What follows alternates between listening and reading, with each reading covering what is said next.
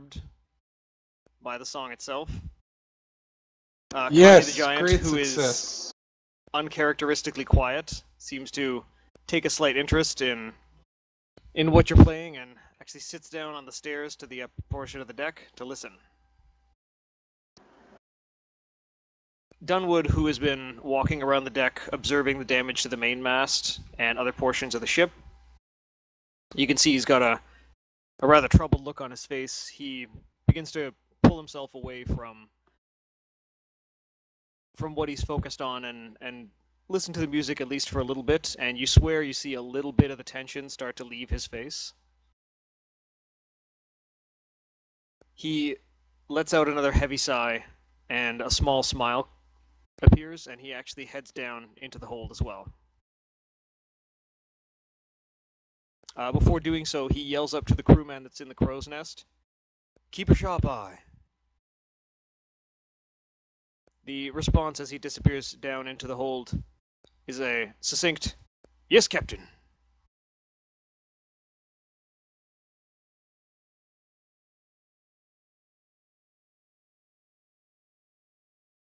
Oh, I don't even have that character here. Give me a second.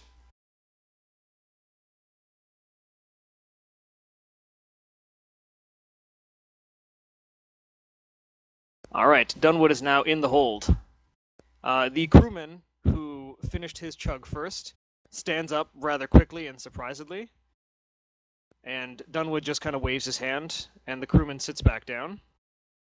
Dunwood heads over to the ale, where Holg has actually not changed position at all. He has just been standing in front of the barrel, just continuing to pour himself ale and just pounding it back. He looks over at Dunwood, and Dunwood looks over at him. And Holg then hands Dunwood the tankard of ale and pours himself a new one. And Holg, for the first time in a while, shows a little bit of emotion when he goes over and says, We won a great victory. No one forgotten. And everyone, cheers to their memories. And at that point, everyone else that is in the hold stops for a moment and, and is silent for a moment of contemplation. And then they all raise up their tankards. Everyone in the hold make a constitution saving throw.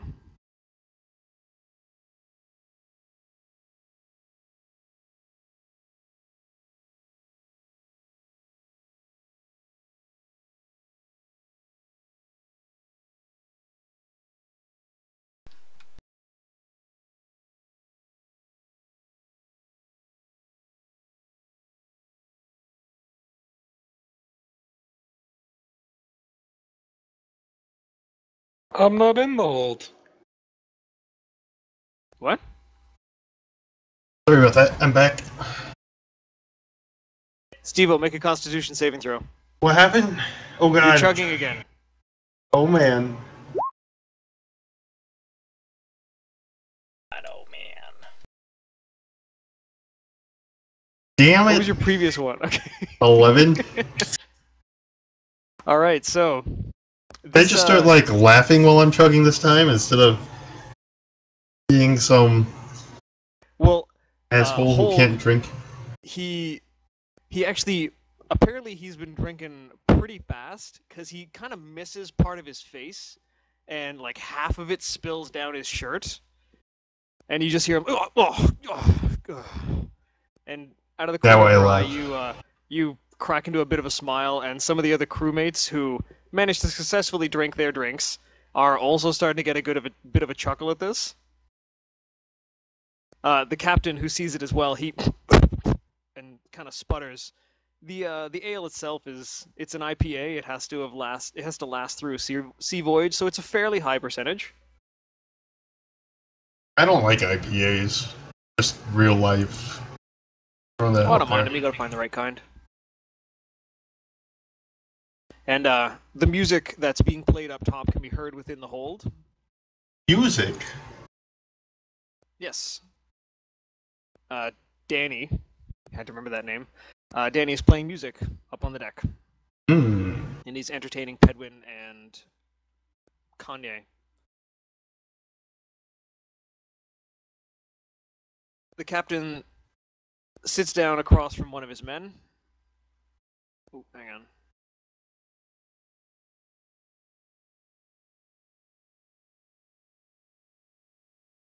He sits down, he says, Let's have a game then.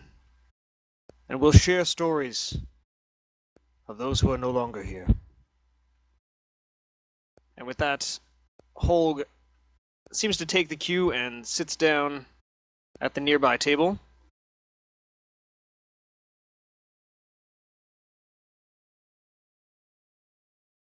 Uh, the crewman who came down here initially, that would be this guy.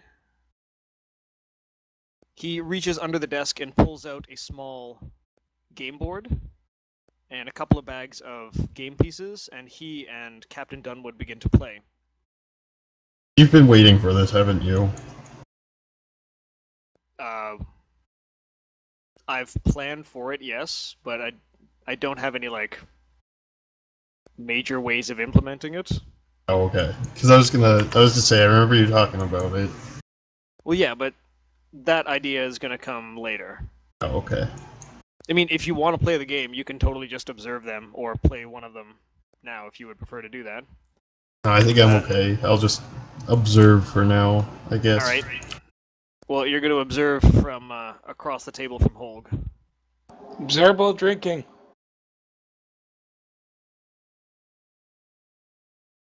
Holg is none too happy at the fact that you were able to drink better than he was. So he looks at you and gives kind of a, a grunt, and he slams his arm down on the table in a uh, an arm wrestling challenge kind of fashion, and just stares deadpan at you. I slam my arm down too. All right, this is gonna be a straight up strength check from the two of you.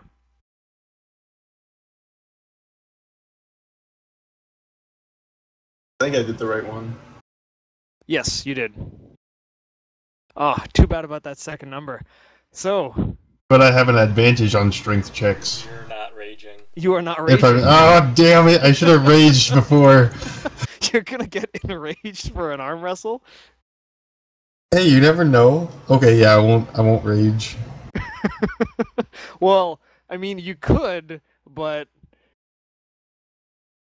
What is with my shitty rolls today? Stuff could happen if you rage. I'm just saying. Okay, I won't rage then. Fine, I won't. If you want to, man, you can. I'm not stopping. No, no, no, it's okay. I won't rage. Okay, so uh, some of the the crewmen that are not playing, and even the ones that are, start to look out of the corner of their eye as as beads of sweat are forming on the two of your brows, as you are just just these huge, muscly, meaty arms of these two guys are trying to overpower each other. But uh, Holg has a little bit of strength on you and just slowly starts to move your arm down. Uh, I want you to make a strength saving throw. Push him back. Damn it! I hate these rolls. Why can't And, we uh, be taking the first number? And uh, unfortunately, it is not enough, and Holg is able to pin your arm down, and he, he immediately stands up and raises both arms in victory, and gives a big and kind of pounds his own chest, and then proceeds to down the rest of his drink.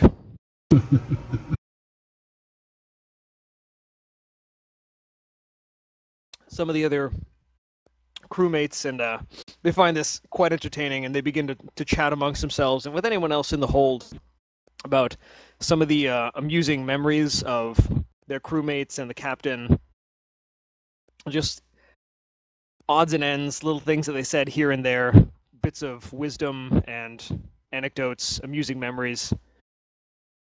And uh, even Faisal from the corner of the room who has been extremely quiet for everything Everything. he is actually joined in the celebration as well, and he is he is drinking like a champ with the rest of them.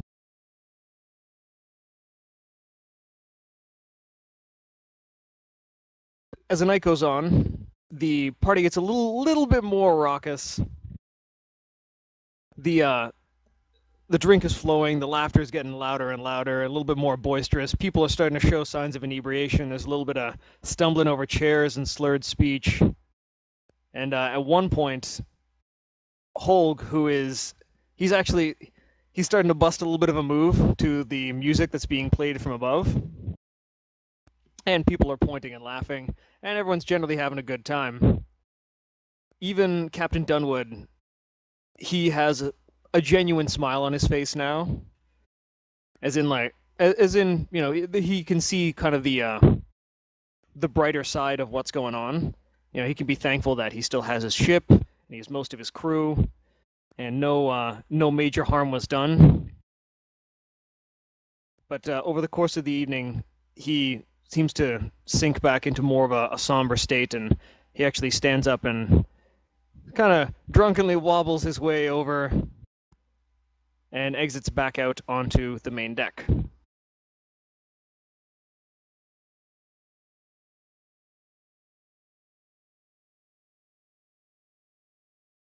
Are you still handstanding, Pedwin? How long does it take to uh, to divine the future? Uh, I don't know how long it takes to divine the future. I'm, I'm gonna stay there as long as possible. All right. So for uh, the most accurate reading possible, Yup. Pedwin has. Why don't you go ahead and make a dexterity saving throw? Do do do do dexterity. Saving throw. Nope. So he uh, he sways a little bit, and uh, a sound of a clattering from within the hold kind of shakes his focus a little bit. And Pedwin he kind of bounces on one hand, trying to regain his balance, and then bumps into the side of the boat and kind of falls prone. I, I Gets jump himself up up. quickly and check myself for fire. he he jumps up quickly and checks himself for fire and there was a little bit of, of smoke coming off of some of his clothes but he quickly pats out the embers that were starting to kick up and shakes himself off dunwood then uh, approaches the group that are still up on top of the main deck and he manages to to regain a little bit of his eloquence even though you can kind of see these swaying a little bit on his feet We're not gonna be at the shore until morning. You probably should turn in. And then just stumbles through the door to the captain's quarters, Danny goes to the edge of the ship to go to the bathroom. And he uh, he disappears into his his cabin. Uh, well, why don't you go ahead and go to the edge of the ship then, Danny? The best part about being off the side of a ship is if you have a boner, you can pee up and it will go over still.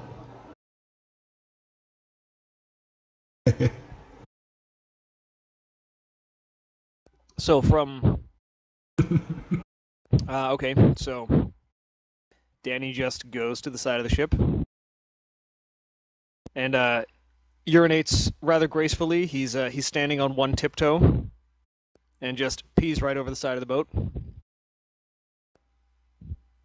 To no ill effect. Uh, the wind picks up a little bit and splashes some on his pants, which he quickly just kind of dusts off. The clattering from below deck is getting a little louder now. And Holg, who is who is quite drunk at this point, he is starting to stumble around a little bit. And as he's coming over and basically catches an excerpt of a conversation between Big Mo and Faisal. And then sidles right, right up next to Big Mo and leans real close into his face. He says, What did you say about me? Wait, what did I say?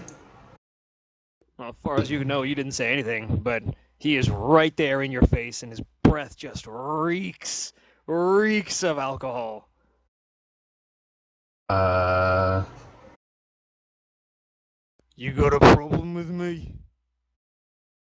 Well, come on then. And he actually pushes you a little bit. I push him back. You push Holg, and he, he takes a step back. He says, All right, now we got us an evening. And he puts together both of his fists. He drops his weapons, and he puts together both of his fists, and then the kind of drunken haze seems to clear a little bit as he starts fixating on you, and you can tell that clearly he wants to fight you.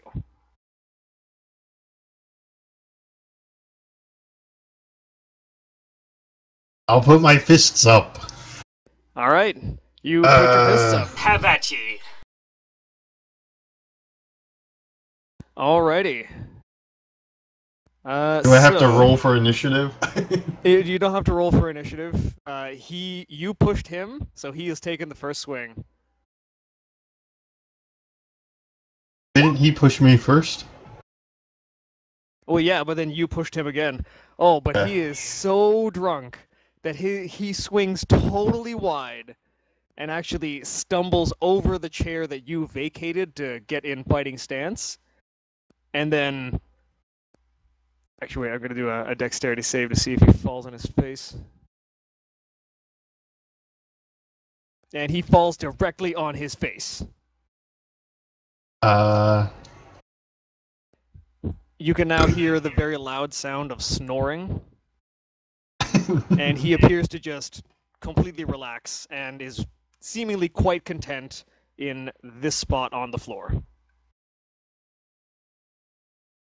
All the other crewmates find this fucking hilarious and they are they are laughing in their drunken stupor and most of them begin to move toward the beds which you do note some of which have been destroyed and while the bedding has been replaced there are not enough comfortable beds for everyone on the ship I wonder how that happened. Uh... I'll just uh, uh go lie on the floor over here, I guess.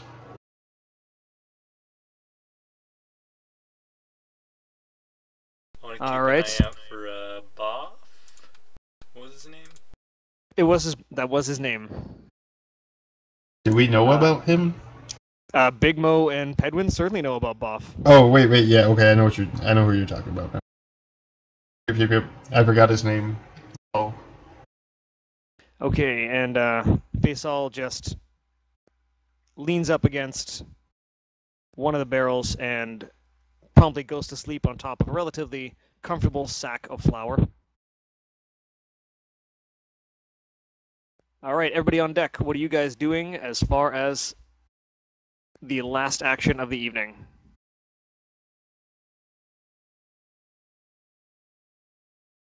Uh, Danny has finished taking a dump over the side of the ship. Danny has finished taking a dump over the side of the ship. Wouldn't you, wouldn't you switch from peeing to taking a dump? He's been there for a while, so I imagine you know, he had some business to do. Huh? I just took a dump. I'm gonna go ahead stand in the center of the ship. You should be able to move your character. Cast. Mm, I'm gonna stand more here-ish and cast detect magic. Okay, uh, give me a second to check some inventories. Womp womp. Womp womp.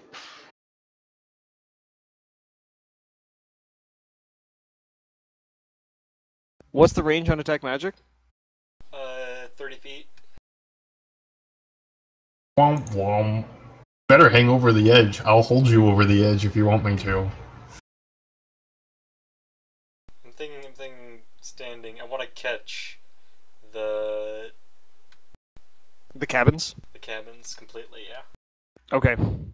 Uh, so detect magic. Uh, you so you bring your uh, Pedwin brings his hands close together to each other and, and mutters a small incantation, and uh, a dim orange light begins to pass between his fingers and palms on both hands, and it then uh, it then turns into a small cloud which expands and becomes very very dissipated and difficult to see, but uh, you yourself begin to become aware more of your surroundings and you feel uh, you do feel a slight uh, for lack of a better term kind of pulse or resonance uh, from the captain's quarters in the shape of a long cylindrical object which you can only assume is the captain's saber. And as it continues to come into a little bit more clear resolution, you do recognize the shape of the the hilt and the handguard, and all of the the pieces of the saber that you've already seen.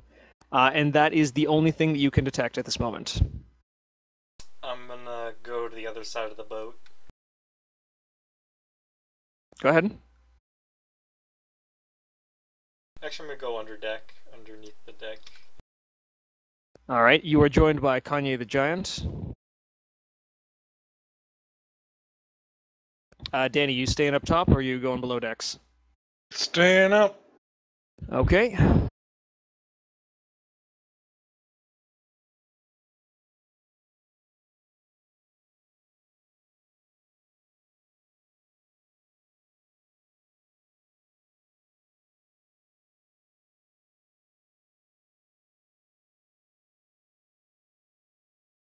Okay, Kanye immediately takes one of the burned beds because he still wants a bed. And uh, Pedwin, you're down there. You do take note of the some of the spilled ale that's on the floor, and you see the uh, the game board that's been left out. You notice Holg is just face down in between two of the tables, snoring very loudly. Uh, Faisal and Big Mo are both towards the the uh, aft of the ship, and the two of them are, are just kind of slumped over and sleeping rather soundly by comparison to Holg against the back wall.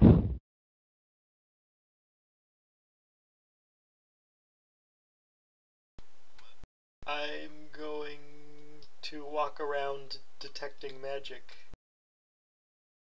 Okay, you are walking around detecting magic. How many times can you cast that? Uh, it lasts 10 minutes. It lasts ten minutes. Yep. Ah, okay. So you uh, you continue to walk around and peruse the ship, but you can detect nothing else on the ship that is magical.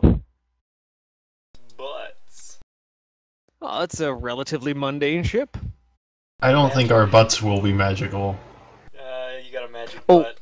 Sorry, that's not true. You Is do my- detect a uh, a small hint of magic coming off of Holg's earring. Is my-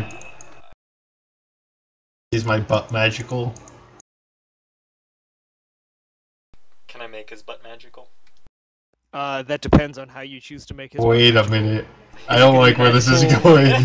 On fire, or I don't like where this is going. You're the one who wanted the magical butt. Okay, so everyone settles down for the evening and goes to bed. Uh, Pedwin takes the last bed, which is the also coincidentally the one that is worst burned. And uh, That's, Danny- That's okay, I'm used to it.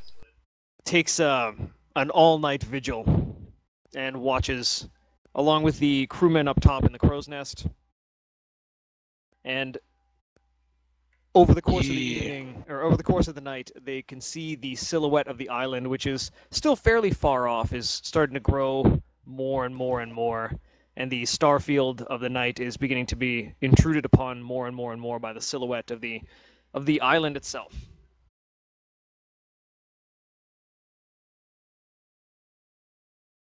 Okay.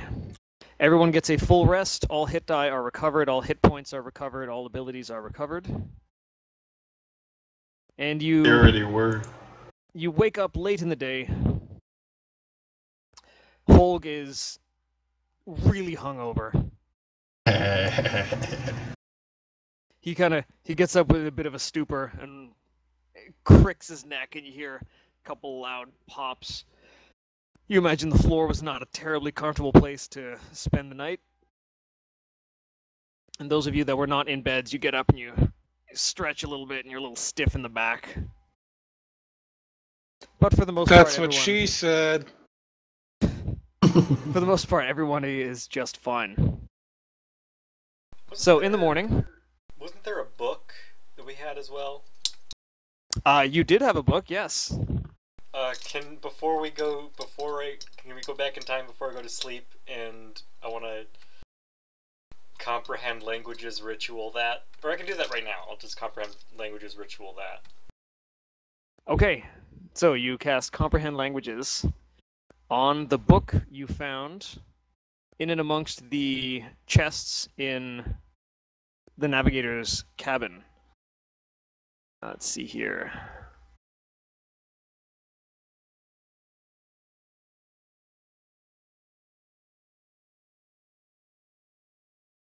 So, you uh, you ha- this is your first time dealing with this spell, to my knowledge. Yes. Yeah. Okay, so uh, tell you what, can you roll a percentage die?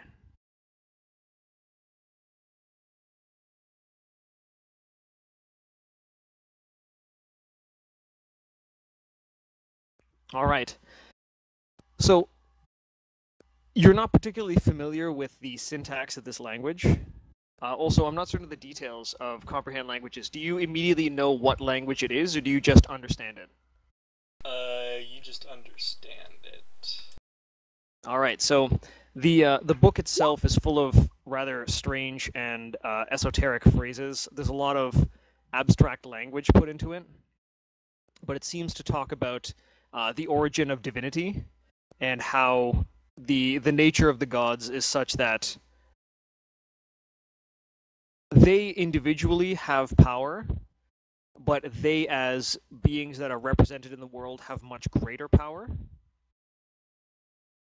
And through the actions of their followers, gods can come to prominence or they can fade into obscurity, and their power waxes and wanes uh, in similar fashions.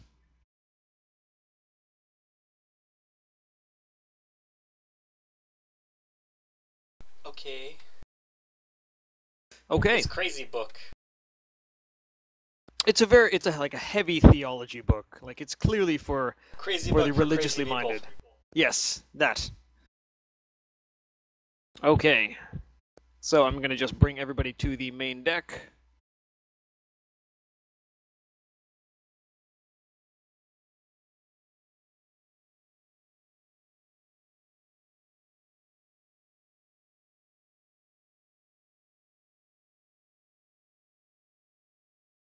Oh, missed Kanye. Okay. All right, so-. The captain is once again seemingly completely unaffected by the amount of ale he drank the last night. He just strolls right up on top of the ship, and he seems to be in reasonably good spirits, considering everything that's happened. He takes another look at the main mast and chats with one of the deckhands. Um, Danny, you are close enough to overhear that there's been some damage to the anchorings of the main mast, and it would be Damage to the anchorings! Oh my god, the ship's going down! Set it on fire! We need to swim for the shore! Okay. No, don't do User that. You're a sick man, Stevo. That's what I was. That is. You found the To figure that out. bathroom? What's that? You found the upper decker Steve left in the bathroom? Oh no! oh no! I knew something smelled funny. All right. So what's happening? Are we setting the ship on fire? No. you guys playing. Oh, okay. Because you're not setting the fucking ship on fire, that's why. it's the SS Kidney. You can't just go burning it down. I could throw a cannonball through the side. No, no, let's not. This ship and us have been through so much together. I'm a literal catapult. Um, what are you guys playing? can I? I'm gonna restrain Joe. What? I I restrain Joe. Oh, I'm playing Dungeons and Dragons. Oh, I was like, I don't see you guys in a Steam game. I was confused. Come from No, we're, uh, destroying we're the on the ship. God, So- fuck me. I forgot. It's okay, but thanks for the offer. I forgot solar panels. Oh, Nice. Not the solar Oh. panels. So Dunwood Ah. from on the uh, the raised point, he uh, addresses everyone that's on deck. Okay, bye. Bye. Bye. User left your channel. So he Back addresses the everyone on channel. deck. All right. Well, why don't we switch to the? Uh, you know what? Fuck it. Well, no. Let's switch to D and D then. If we're gonna lock the channel, You lock that one? I would feel better locking that than the lobby. Well, you can't just go walk in the lobby. User left Let's your all channel. go to the lobby. User left your channel. Channel switched. User joined I thought we were going to the lobby.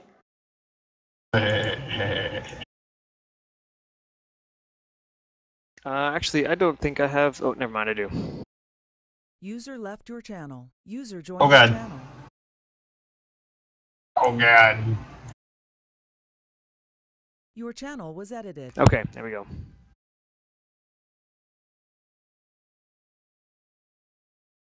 Captain's Alright, addressing so- the ship. Dunwood addresses everyone on board. And he says, The state of the ship is such that we cannot sail quickly. I suggest that we head towards the island that we are inbound and seek port, somewhere that we can make reparations. That was the wrong word there, never mind. Repairs. As you You and your five gold words. as all of you are beginning to approach the island, um, Pedwin, you you start to det- you start to feel the the map that you have stowed away in your belongings is beginning to uh, shake. I forgot to do portent for the morning. So there it is. Okay, you do a very quick handstand, and the the uh, the map actually falls out of your belongings because it was it was shaking so uh, so vigorously. As it lands, it unfurls, it's And- fucking magic. you can see that. Oh, what the hell? I can't even. Oh, that's bullshit. Oh god, why are we all in here? Because I gotta move something around. That's bullshit. I can't believe it. That won't do that. Oh god, where am I? I can't see my arms or legs. Oh god, all where am black. I? It's all black. HPG, where's the teleporter? Why isn't it level 3?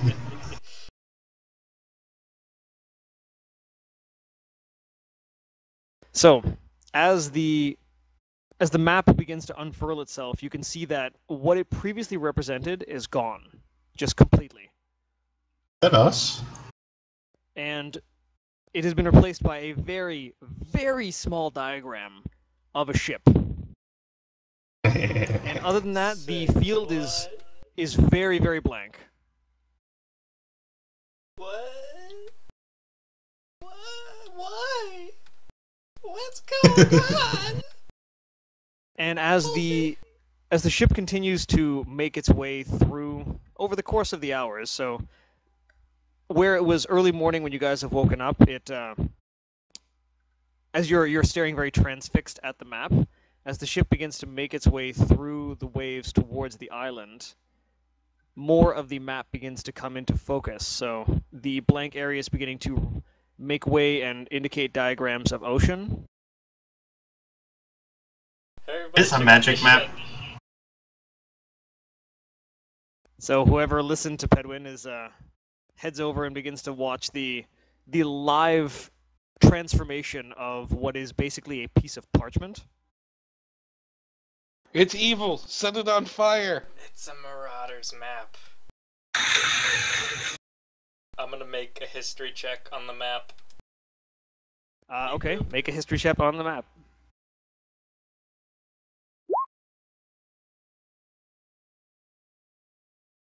The ship moved. So that's an 18. Uh, that isn't.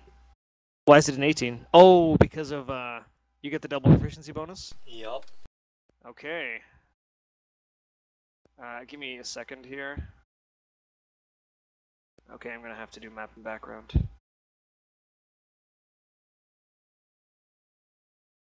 Okay.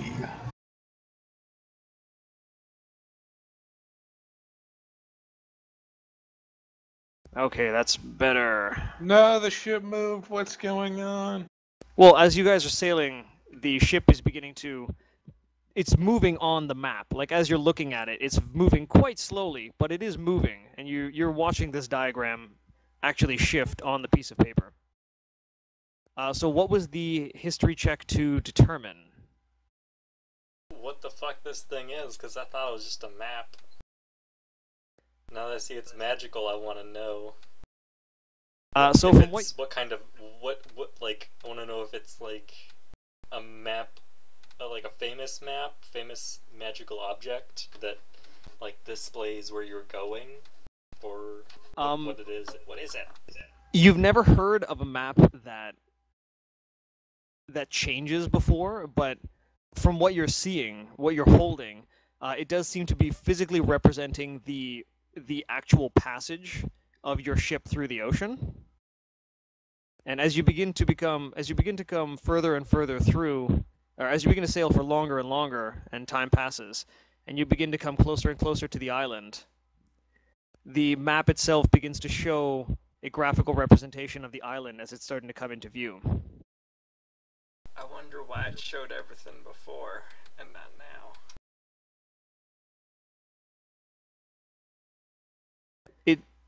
Uh, I'll tell you what, make uh, make an intelligence check.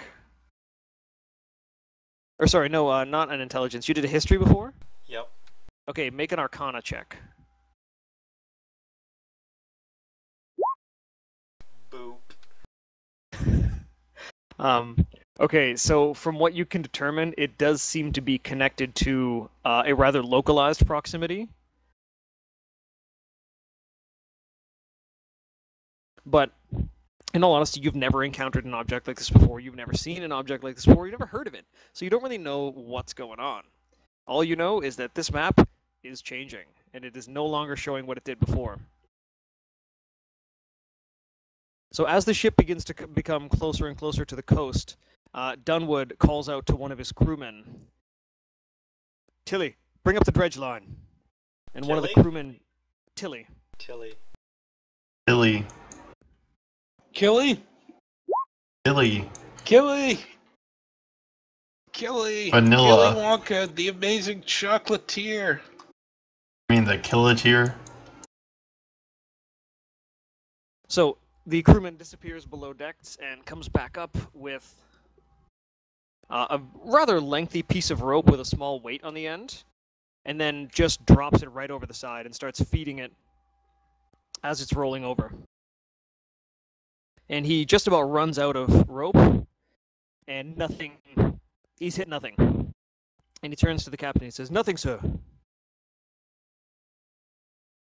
and the ship gets a little further along. It's been about 15 minutes or so, and the crewman then perks up for a moment and says, "Captain, we've hit seabed." And so the uh, the captain orders the foremast sail to be brought down, and the speed of the ship slows greatly. And now it is being carried by a rather gentle current, and is not really changing position very much. And the map seems to uh, it seems to represent the fact that it's no longer moving by the fact that the diagram of the ship is no longer moving.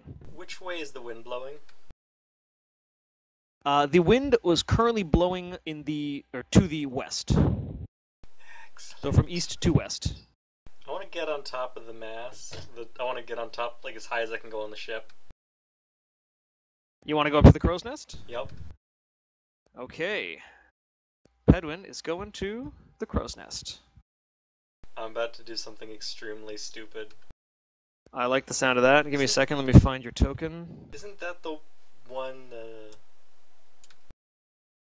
fell over? Which one? Which one fell over? Uh, nobody fell over, to my knowledge. No, the uh, didn't one of the masts break? Uh, no, it didn't break, but it is. Well, uh, you know what? I'll just I'll add this bit in here. Uh, so as you make your way up, as you climb the ladder to the main mast, you see that it's it's taken a bit of a beating.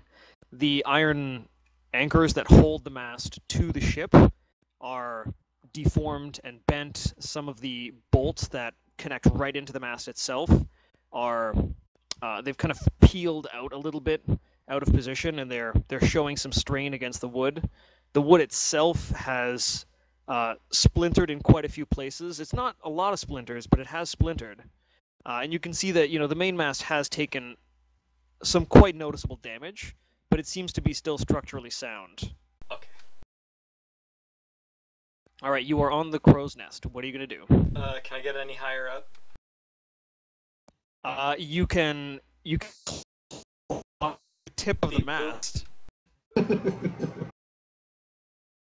Can you hear me now? Yep. Good. You can climb to the very tip of the mast, but you're gonna have to make an acrobatics check. Mm, I'm gonna. Or no, uh, that. an I wanna- athletics I wanna give myself a running start. What? There's I'm, not a lot of room to run. What are you doing? I'm going to. Uh, as fast as I, I'm going to sprint and leap off the uh, mast, throw my Okay. arms wide, and cast Feather Fall so the wind will carry me to the shore. Um, so before you do that, the wind is not blowing very hard, and the last time you looked at the map, and just just looking straight out across the water, it's quite a ways to the shoreline. I'll wait until it's not quite quite a ways then. Okay, so so the captain, who has ordered the foremast to be brought down and has requested this uh, this reduction in the speed, he he gathers his crew, and actually, you know, he gathers everybody. So the the whole party um, is is now standing before Dunwood, uh, and he says, a- a- as he's telescoping around, he's like, "I see no land to make port along this edge of the I'll coast." find some. we could head south or we could head north. Suggestions. And then he continues to look out as everyone begins to uh, make up their minds. South. South. Do we recall the map at all? Uh, well, everyone but you is currently looking at the map. North. The, North. The, the, the map before it like disappeared itself. Oh, um, you do, but it was it was a very very large representation of quite a bit of the ocean, and you also note that Cinderin wasn't on the map. The area on the map that had the circle and the writing was actually put in in ink, and that is now gone completely. And it was just circling an empty area and the word was Cinderin and then a question mark. Hmm. Okay, okay. I thought I thought the map was like of Cinderin, but I guess I was wrong. Uh, No, the map is not of Cinderin to your knowledge. Okay. All right, so uh, Big Mo has piped up and he's voiced his opinion that the captain should go north. Does anyone It else more have any a- suggestions? I crossed my arms and said north. You had a character now, can Do rivers flow north or south in this? They flow whichever way the Um, land takes whi- them. Which Yeah, rivers flow along with elevation. I know, I- I- but You're you're asking about the. Coriolis effect? yeah. Well, rivers are always going to flow according to the land's elevation. Um, the Coriolis effect is extremely weak, and it's not going to be noticeable in a situation like this. Um, if you'd like, you could look over the side of the boat and try and determine where the current is going. We can throw you in and you can cast Featherfall and let the currents take you. And if you want to do that, I'm going to need you to make a perception check. Let me let me look at uh, catapult. See if I can catapult myself. I think you're a little bit too heavy for catapults. You don't quite have the levels for it yet. I could, hmm, I could grab onto it mid throw, and that might give me some momentum for featherfall. oh god. this is a great idea. Okay, so while Joe is contemplating, Doing, the math. while Pedwin is contemplating this particular course of action, the captain, who's been looking through his uh, his telescoping spyglass, he snaps it shut and says, "There's a haze to the north of the island. I cannot see much further beyond it. But I know such things only occur in calmer waters.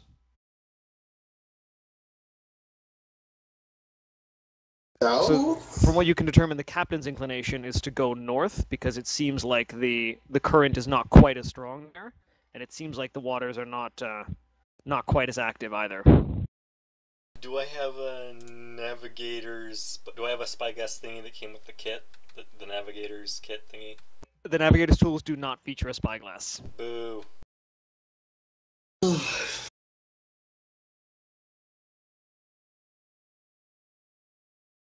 Could I make a spyglass out of ice? Huh? Huh? Um. Okay, Where the hell are you gonna get ice? He's a of mage. He can make it. Uh, can you shape Ray of Frost to do that? Or is it just a line shoots out? Let me take a look, see at the description of Ray of Frost.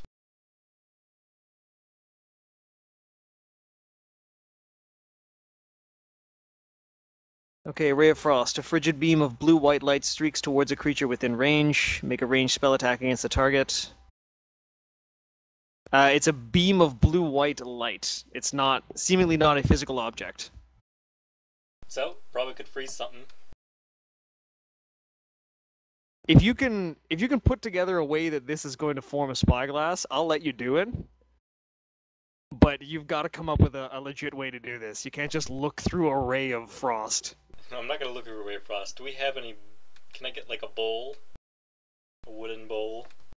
Uh, sure. You would. You've seen many wooden bowls below deck. Can can I uh, do do the math on the uh, curvature I would need? Uh, you can make an attempt to. I will need you to make. Um, let's see here. Uh, you know what? I'll need you to make an intelligence ability check.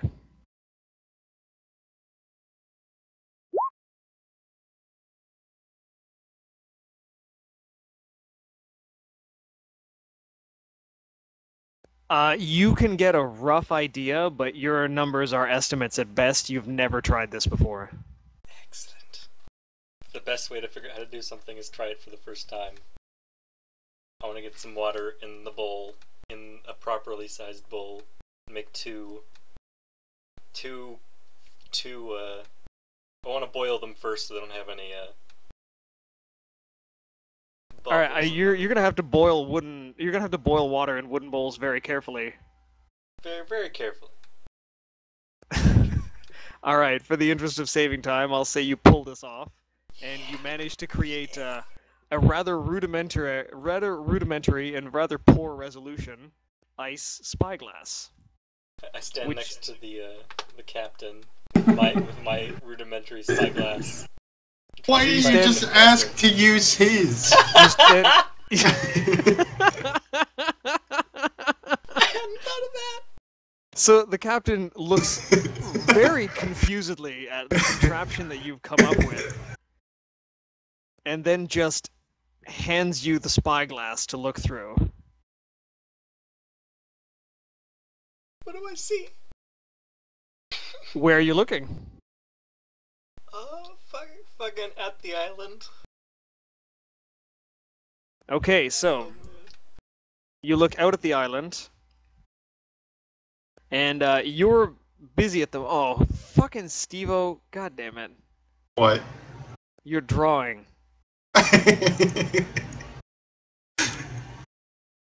So as you look out at the island, you begin to notice that there, the coast itself is not very high. It does come down into the water. It does seem to have beaches, um, but definitely nowhere that a ship of the size of the Weaver could make port. It's, it certainly seems relatively easy for people to get onto shore, but the ship itself will have a difficult time. By the way, when Joe stood next to the captain and did that, it totally reminded me of that scene that I just linked like a minute ago.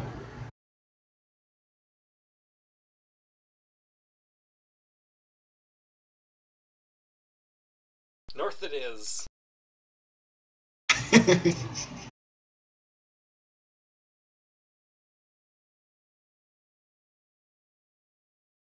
All right.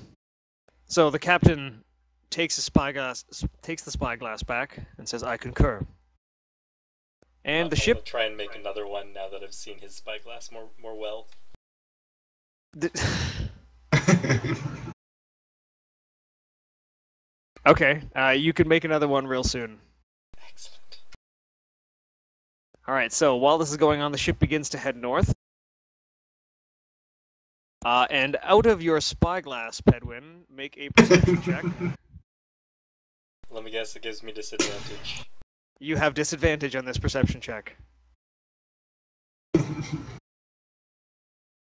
Can I use portent You can use portent. to do change one? No, I can just change it and make it make the whole thing, ignoring. Yeah, you can replace any attack roll, saving throw, or ability check made by you or a creature that you can see with one of these foretelling rolls. You must choose to do so before the roll, and you can replace a roll in this way only once per turn. So you've got to decide now if you're going to use one of your portent uh, rolls. How close are we to land? Um, you are a good five kilometers. Oh boy. Uh, yeah, I'm not gonna bother wasting portent on not being able to see anything. Okay, then make a perception check with disadvantage. Oh, what a Oh. Oh. Okay, um you really can't make out a whole lot. The the image that you're getting is quite distorted and it's not in a very good resolution. You do see a little further up the coast and the map changes to reflect that. And from what you can see there is a small road running along the coast. Dirt road? It's a well-trod path, and uh, and the land, the land closer to the coast just kind of slopes down gently towards it. Uh, the captain, who pulls out his actual spyglass, then takes a look out, and he calls up one of his crewmen again to drop the depth line as the ship continues to go further and further forward.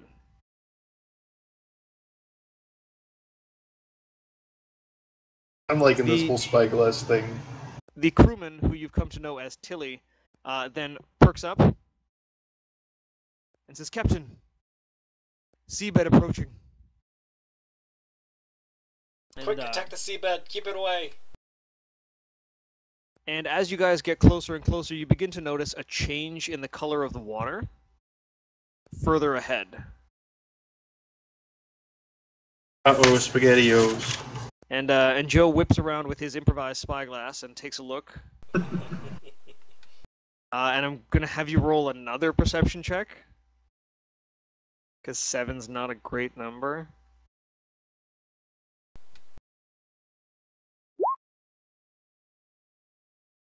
Okay, 10 will do it at this distance.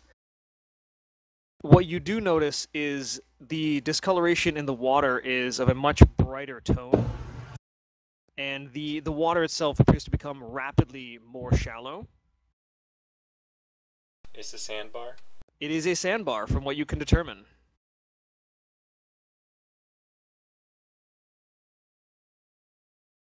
It's a unicorn. okay. So as the ship gets a little bit closer, the it's not that the bottom starts to drag, but the current starts to die off a little bit because the the sandbar is slowing some of the flow of the water, and there's there's a little bit of kind of ebb and flow and back and forth, and the ship begins to slow quite a bit. I So the captain- Hand. Yeah. I use Mage Hand to di- dig into the sandbar.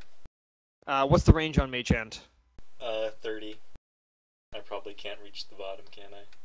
Well, I'll I'll uh I'll say you're close enough now. The intentionally steer the ship rather close. Not close enough to get it stuck, of course, but uh, but close enough to check this sandbar out. Um, so your mage hand doesn't have to go very far. The sand is actually very very close to the surface of the water. and it Kinda- brings I back to you. Drag it along the bo- the bottom as if I were dragging it my hand through the. Uh, and so you're, you're dragging the mage hand like what through the sandbar? through the sandbar as we pass. Okay, uh, so as you pass by, you see the sand get disturbed and it kicks up and then settles, and it appears that the water in this area is quite calm. And the the layer of water above the sandbar itself is very, very shallow. Like it's maybe maybe four inches of water. Let's not go in there. We'd crash. The ship would crash. I cast Featherfall on the ship. um, I'm I'm kidding. No, no, I'm I'm trying to I'm trying to think of a way to to pose this. Uh, Did I disturb a kraken underneath the sandbar? you did not disturb a kraken. There, seemingly, there is nothing on the sandbar. It is just the sandbar itself. It is pretty close to the ship, and it does connect directly to the land.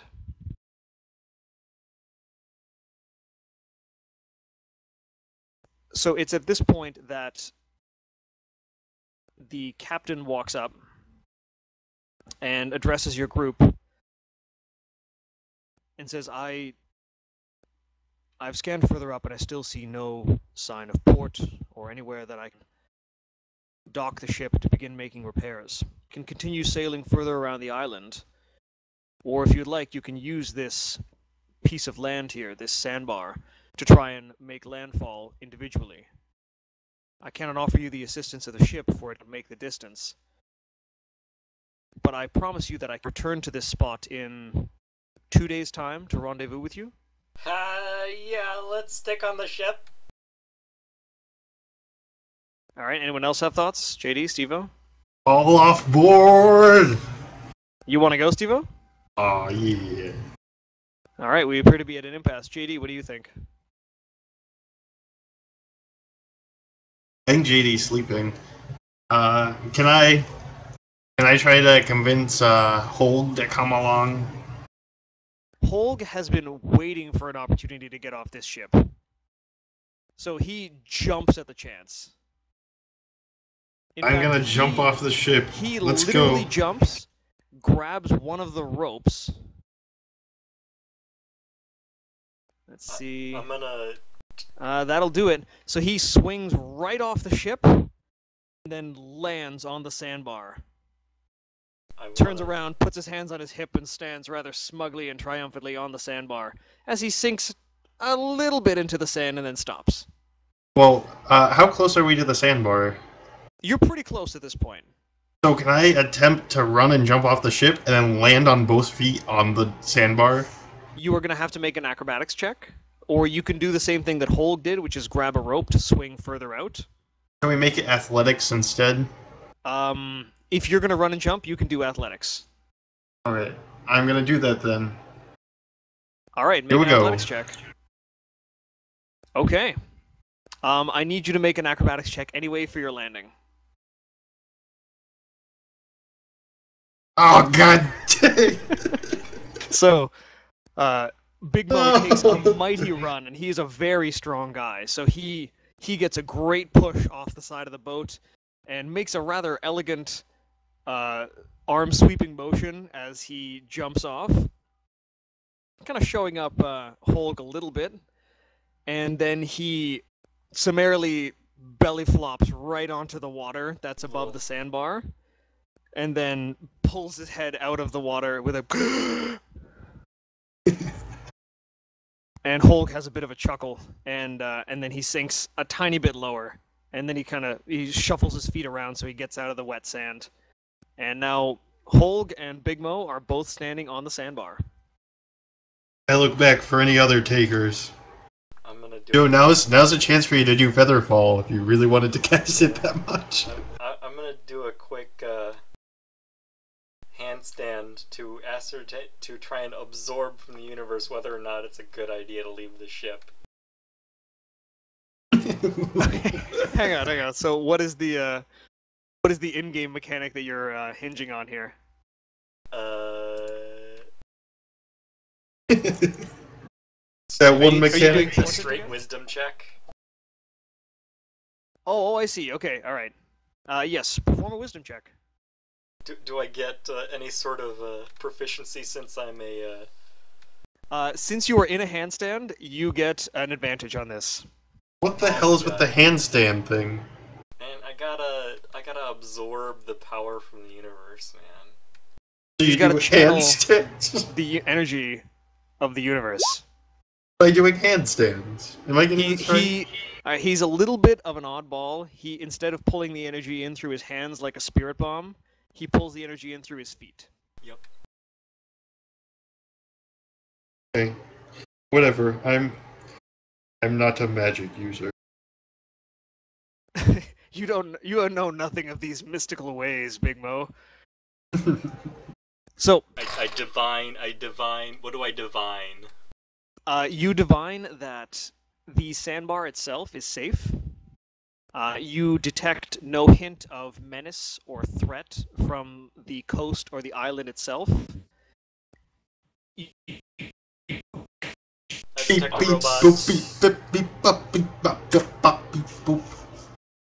All right. uh. It's another robot.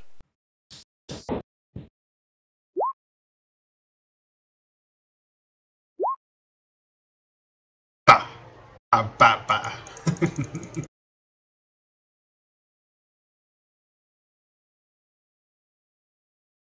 FFS. Okay, I'll read for you, HPG. You type and I'll read.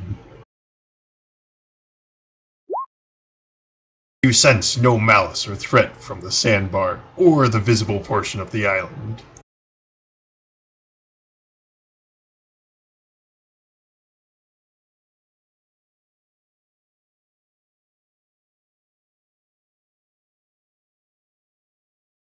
Kieran P is typing.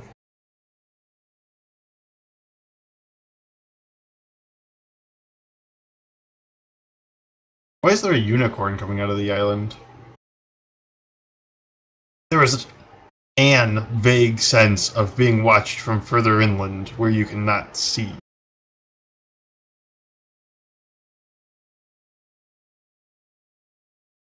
Kieran P is typing.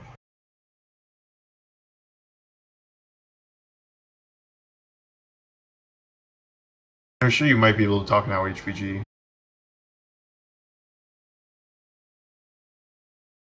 Kanye the Giant hollers loudly and swings off the rope onto the sandbar. Am I still roboting? Nope. Nope. All right. Uh, and Faisal Camille, he jumps off the side of the boat in the same way that Big Mo did, but being a much more lithe and acrobatic person, pulls off a nice little half flip and then lands very solidly on both feet and starts to sink into the sand a little bit again, and he has to pull his feet out of there. If Wait, what type of, uh, Wouldn't he land on his head? No, a half twist. What type of. What is Faisal? What class are they? Uh, Faisal is a rogue. Okay.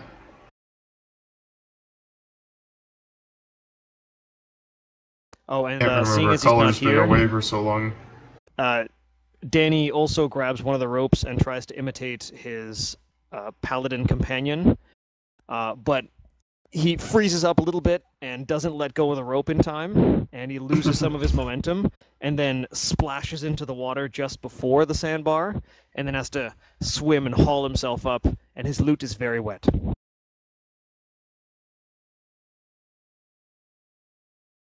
Can I do a? Who's left? Can I do an insight on whether or not it seems he's gonna come back for us? Uh, you can do an insight check.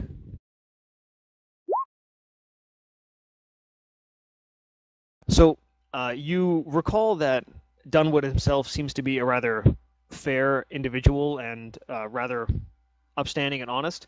Uh, he also did ask you guys to aid him in his quest to find Burnley.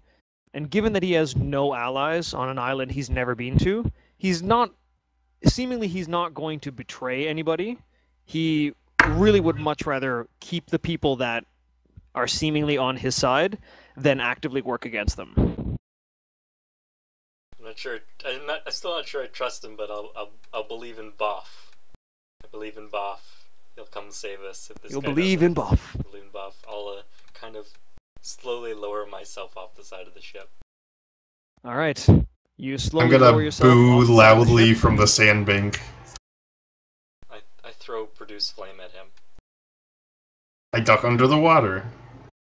it's not. I think it, the water's not uh, tall enough for you to. The duck water is completely. four inches. I uh, I don't know how quite how thick Stevo's character is. I thought I splashed into the water. No, that was uh that was Danny. He uh, he missed his swing and then plunged into the water. The rest of you are standing on the sandbank, slowly moving in the direction of the island. Okay, then I'll punch the flame. And then quickly put my hand into the water. You take two points of fire damage. I'm okay with that. So, um, as all of as the entire group is walking along the sandbar towards the coastline, uh, Dunwood calls out, "I'm going to circle north around the island. If I find nowhere, I shall come back here. Two days, I promise." And with that, the foremast of the ship is raised again, and the the wind and the current combine to take the ship a little bit further away, and it starts to move off north and eventually out of sight. We're doomed. Whoops. Okay. Big Mo's never doomed. So the group of you begin to kind of trudge along the sandbank. And as you do, you begin to come closer and closer to the coastline itself.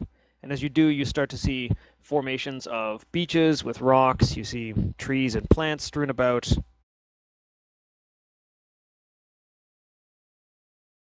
Did I bring the map? I think. I hope I brought the map. You certainly brought the map. Yeah. Okay, so uh, don't mind the white part. I couldn't adjust the background. I'm Uh, and for the time being, I'm only going to include the people that are actually fucking here.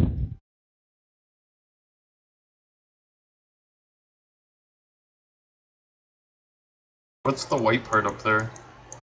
Wait, Kanye's not here. Uh, it's just background that I couldn't change the color of. Why can we see that big yellow section in the middle? That's the sandbar.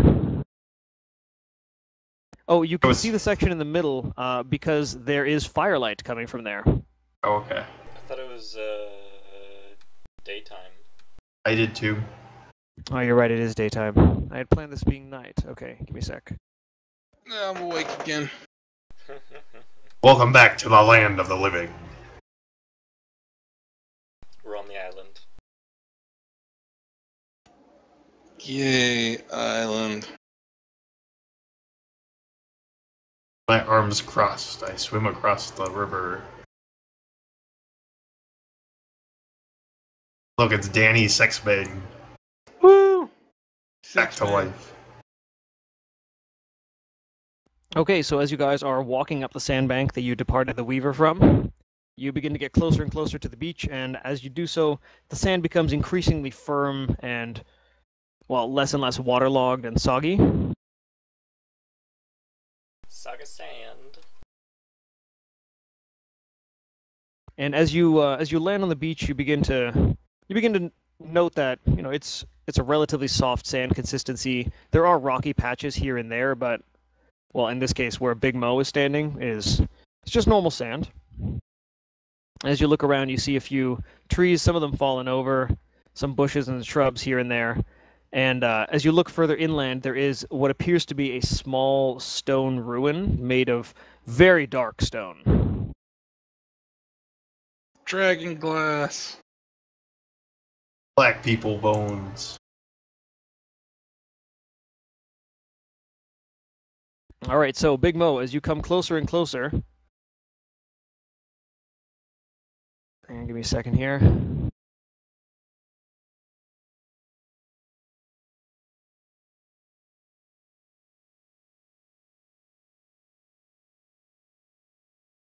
You begin to see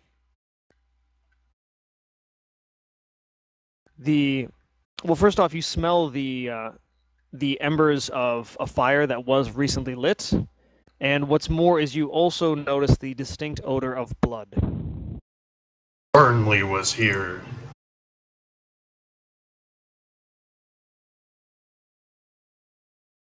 and as you get closer and closer you do notice that there is a body laying on the ground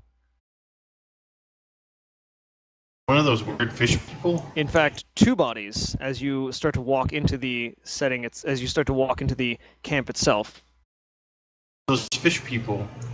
It is the same lizard men that attacked the ship. You were able to correctly determine that. Uh, but they are already dead. Something or someone has killed them. Uh, can I look at the wounds? You can look at the wounds. I look at the wounds to try to Uh, determine the weapon that killed them. Then I need you to make an investigation check.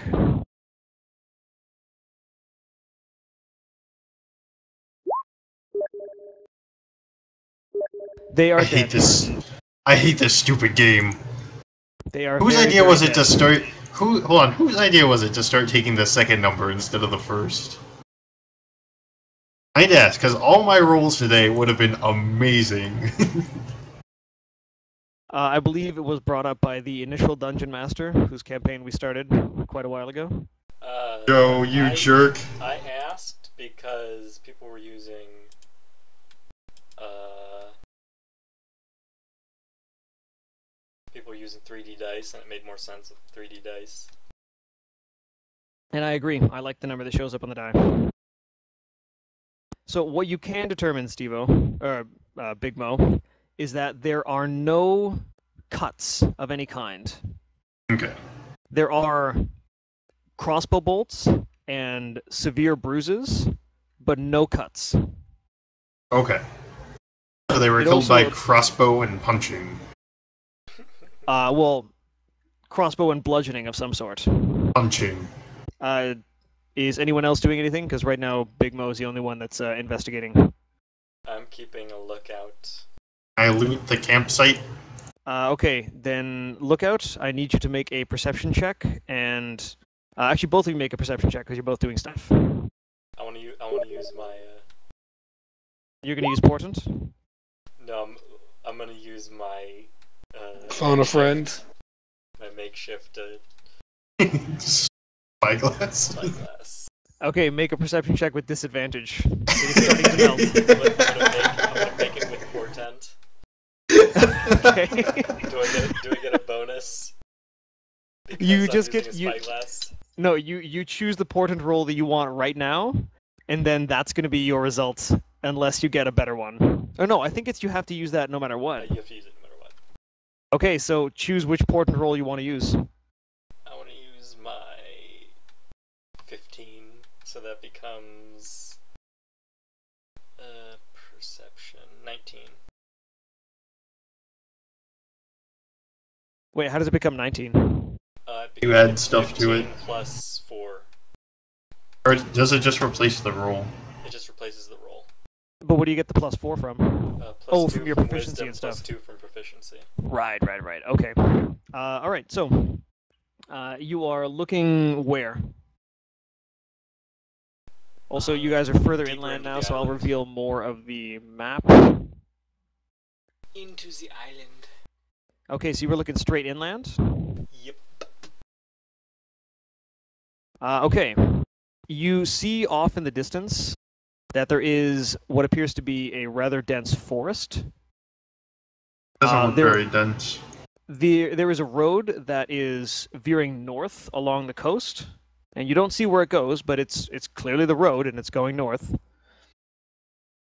Uh, you also see that the the same road then curls inland and is heading further west, and the the turn in this road is actually very close to where you are.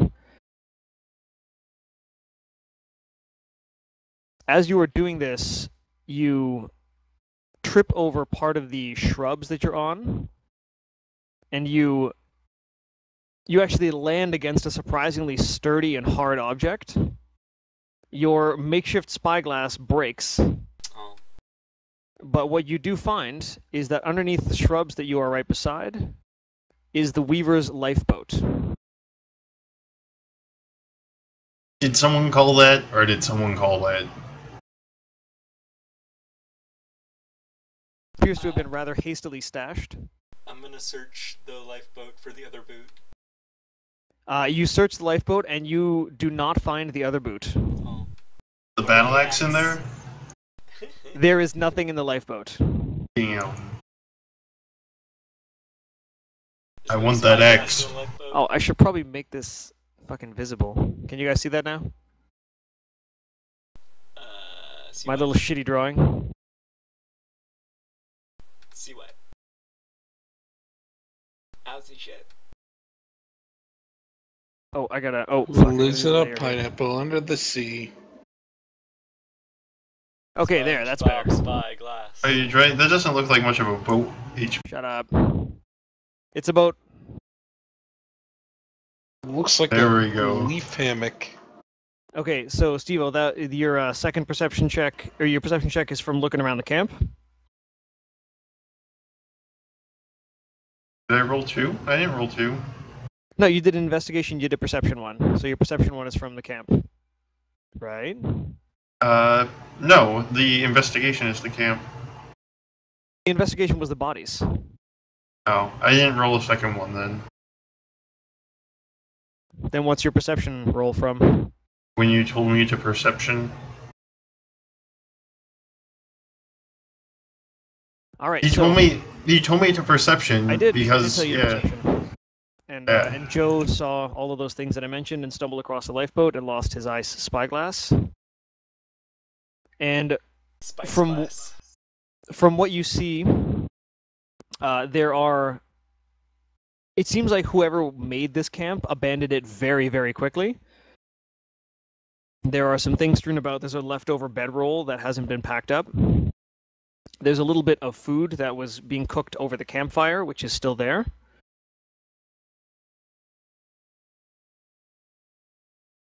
And at this point, uh, Danny, who I guess hasn't moved, I'm just going to move him.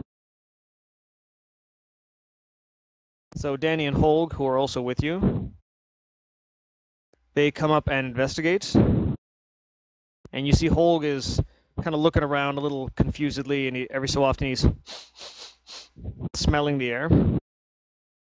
Uh, and he goes over and just eats the food that's right here. Ew, gnarly. You Oh. hear him chewing loudly. What a bad time to have a no reason boner.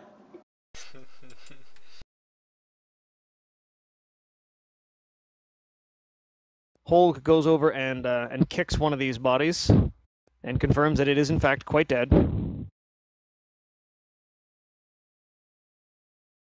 Uh, he then perks up from what he's looking at, and he steps over the body and then peers very very closely at one of the walls, which now that you guys are closer to, you see are made of very very finely masoned stone, and it is like these are old stones, but they are still forming these walls. So, despite the fact that there has been quite a bit of time that's passed, they are still standing. They are still sturdy. They're not forming a structure anymore because it appears to have been destroyed by other means, but the walls themselves are still strong. And Holg peers in really, really close to one of the rocks, one of the bricks themselves, and then he kind of leans back in a bit of a surprise and then chuckles loudly and immediately starts to head down the road.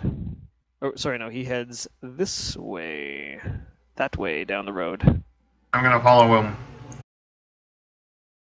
I wanted to go north, but I guess we're going this way. There's water north, Joe. Well, hang on, hang on. I mean, you guys don't have to follow Holg. You I have no idea Holg. what he saw. I'm gonna follow him.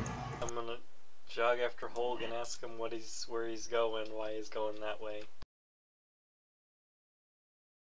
What Uh, so, so Holg turns around. He says, "Oh, right, that's one of her tricks." Uh, tell me, you see anything funny on that wall over there? do I I see anything funny on that wall over there? You do see a message in a language you don't recognize. That's right here on the inside edge of the wall. Nope. Do I recognize the handwriting? Uh, you do not recognize the handwriting. And like I said, it's a language you don't know. But you do have comprehend languages, don't you? Yeah, if we wanted to sit here for 10 minutes. Well, I'm just gonna- old what he's I'm just gonna what it ask, what's it say? It says, and Holg goes back over and then takes a close peer.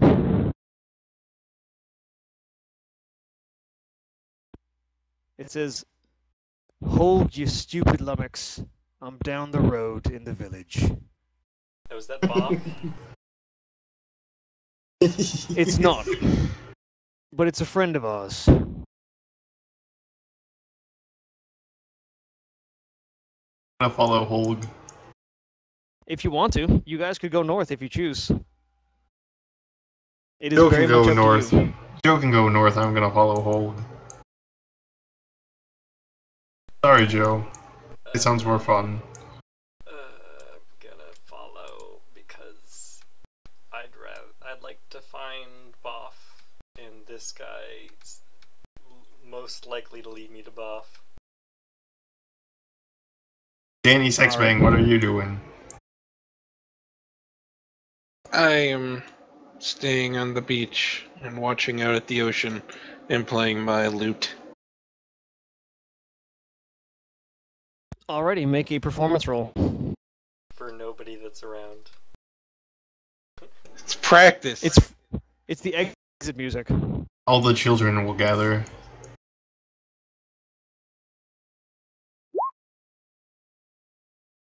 Oh, and it is excellent exit music. It is it is rousing enough that everyone picks up their pace a little bit, it leaves you behind And, uh, even faster. and Holg is uh is inclined to elaborate a little bit more. He says, "Boff's real clever, but he wouldn't do anything like that. He abhors violence. No, that looks like a uh, Like what? Aya. Aya? As Aya what? The goddess of Earth? Or the figurative something of Earth? How could I have A of something Uh, if I never had of- anything to begin with? Gaia? You're thinking of that. And that's like like Ao, I don't know how you pronounce that name. That's like the the overgod in the Dungeons and Dragons universe. Aya is a person's name. Aya. Aya. Aya what? Aya. Aya what? Holg shrugs. Dunno, she never says. Most of the time she's disguised. Can I We're keep real following trouble Holg? looking for her. But she usually leaves a sign of her passing. Uh, is there anything anyone else wants to do before you guys carry on down the road? Nope. I've got everything I need. A burnt hand, my my battle axe, and my feet. Okay.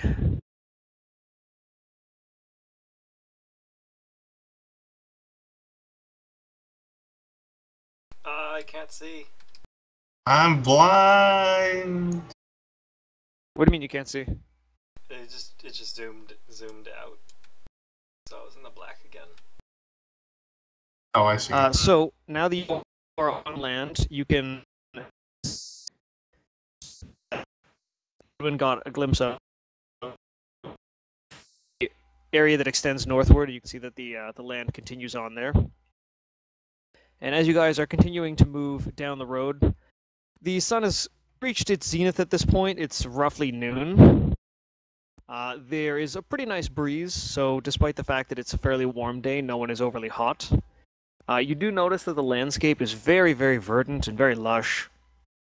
There's greenery everywhere, nice thick grass.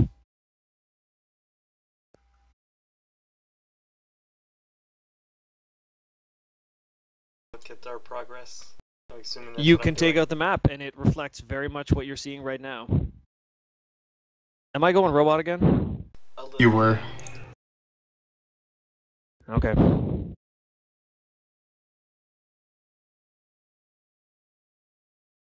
Uh, so, you continue to pass by various fields and small valleys, hills. The terrain seems to be relatively level in this area.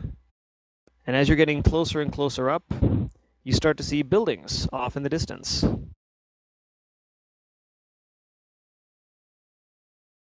Now, unfortunately, I haven't I haven't uh, prepped the zoomed in map for this, so we're gonna have to stay on this screen for a little while. We'll live. What? We'll live. All We managed to do Joe's unbelievably con- one part without a map. Yeah. So, as you guys arrive, you have come across a small farming village. Aw. There seems to be a, a relatively flimsy fence that surrounds a good chunk of it. It seems to be kept. It seems to be designed more to keep in livestock than keep anything out. And off in the distance, you can see. Uh, you can see a father that's in a foot race with two of his children. You can see farmers plowing fields. You see a, couple of trails of smoke coming out of some of the buildings, and there is the general bustle of a small community. Do I recognize the uh, architecture?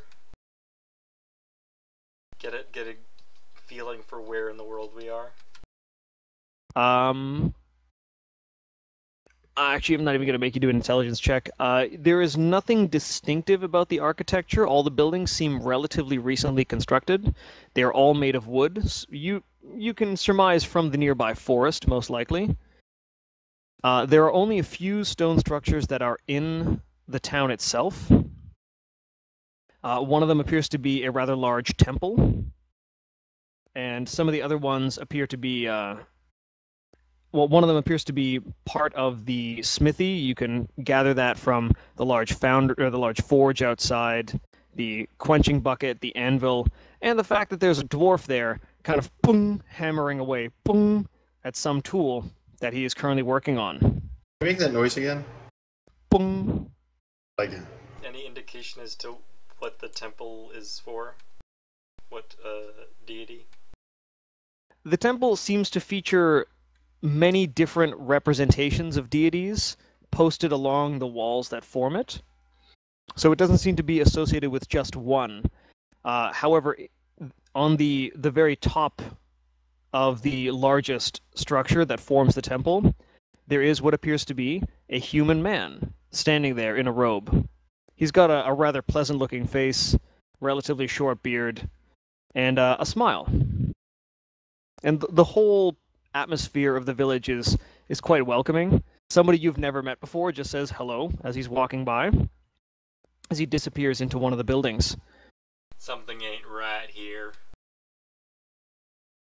These people are too friendly. You're it's a just trick. being. Get an axe. You're just being over. uh What's that word I'm looking for? Cautious. Yes. You're being They're over pot cautious. If you think something is suspect, you can always do a perform or a perception check. Perception all over their faces. You're gonna perceive so hard. Yeah. Alrighty, Can I do that through the eyeglass? Oh no. I don't your eyeglass is broke. broken. It's broke. It would have melted by now, anyhow. Uh, so, as you look around, you notice that further off in the distance is a decent sized lake. Uh, you know, kind of halfway between a pond and a lake. It's not terribly big, but you can't see the whole thing from here. And there is a small stone structure that borders right on the edge of the water. But it's uh, it's not a building. It's just kind of a, a platform. But it is definitely constructed. Uh, let me bring up my notes here.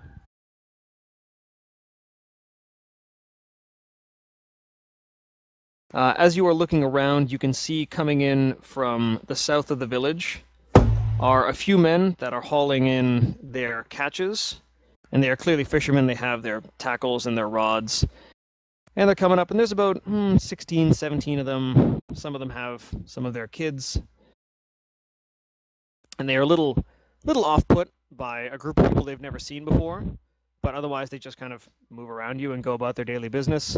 And you hear the the local chatter about the price of ale and who caught the largest fish, who owes somebody else money, what they're getting up to tonight, and just the general banter of of townsfolk.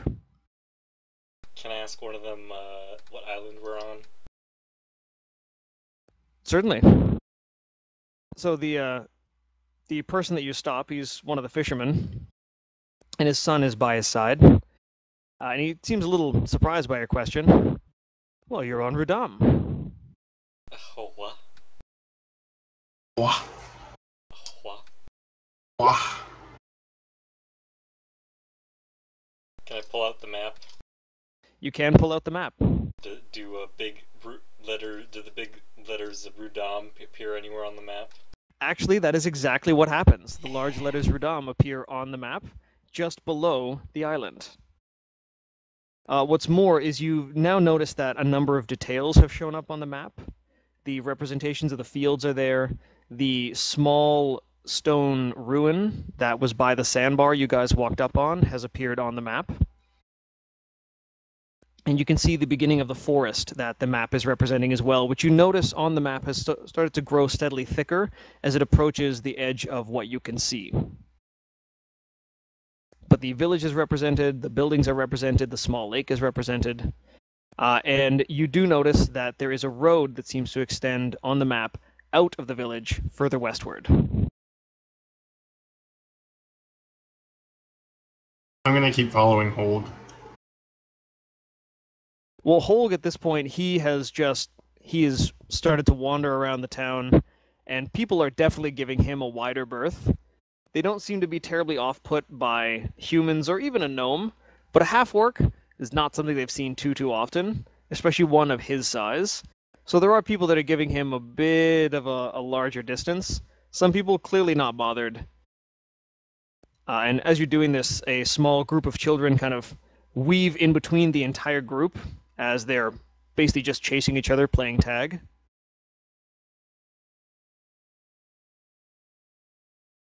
And they peel off running around behind the temple and uh, off towards the lake.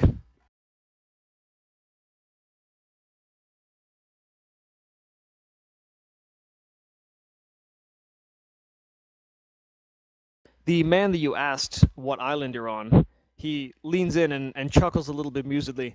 Uh, where did you expect to be? Uh, that's a good question. I don't remember the name. back off and try and catch up with them and wave goodbye. What was the name that what's his name said? Cinderin? He shrugs a little confusedly and waves. Are you gonna say? Are you gonna ask him that? Uh, when when he asked us what were we expected to be, I'm gonna say Cindera. Is it Cindera? It is Cinderin. Or- Upon hearing that name, his face goes from friendly to definitely more concerned and a little darkened, and he kind of furrows his brow a little bit. And he says, "No, it's not Cinderin. I wouldn't recommend you go there. No one who does returns." I'll say thanks and keep on walking. Is there something you're looking for?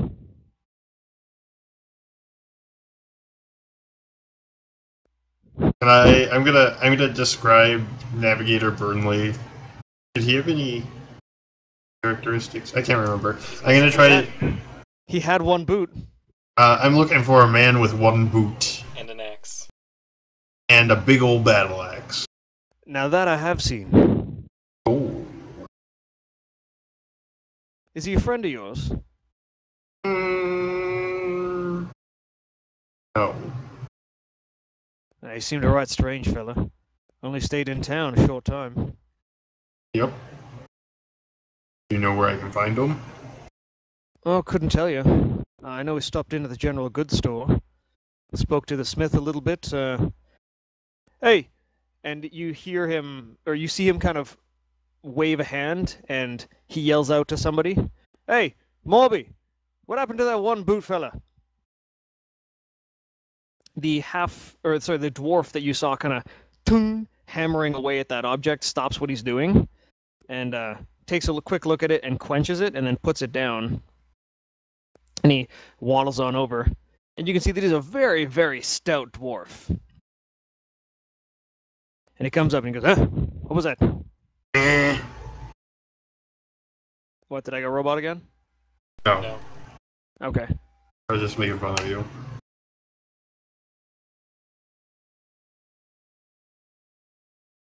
I like the voices. Thanks. Nothing beats Matt's voice, though. No offense, HPG. That's fine. Matt's got a pretty good voice. I don't think I can do a, a southern drawl quite that well. So, uh, you do notice that you've lost sight of Holg while all this has been going on. But uh, the dwarf comes up to you. He says, "What's this, then?"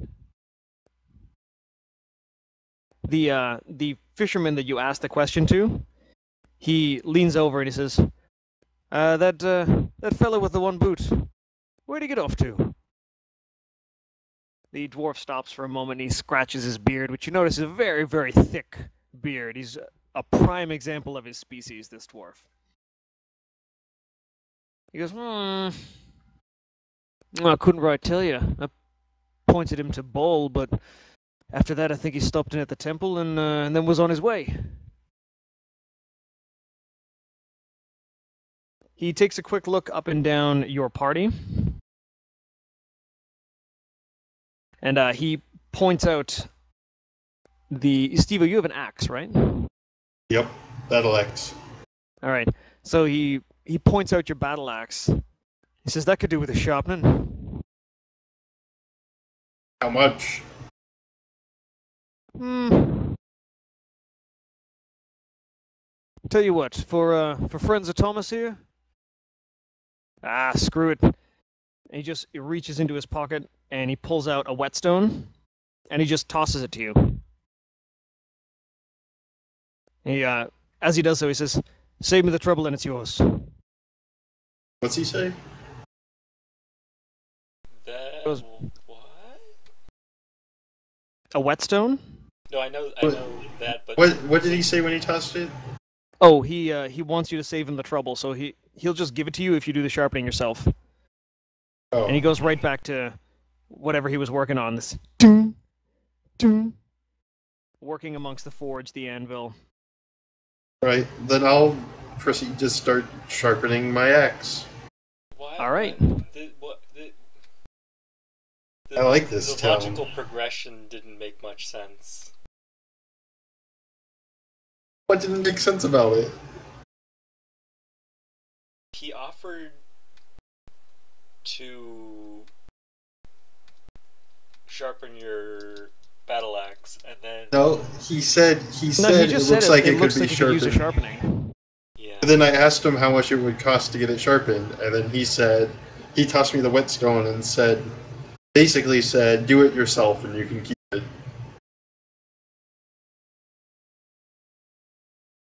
I think he was more interested in making sure people's weapons were sharpened than uh, making money.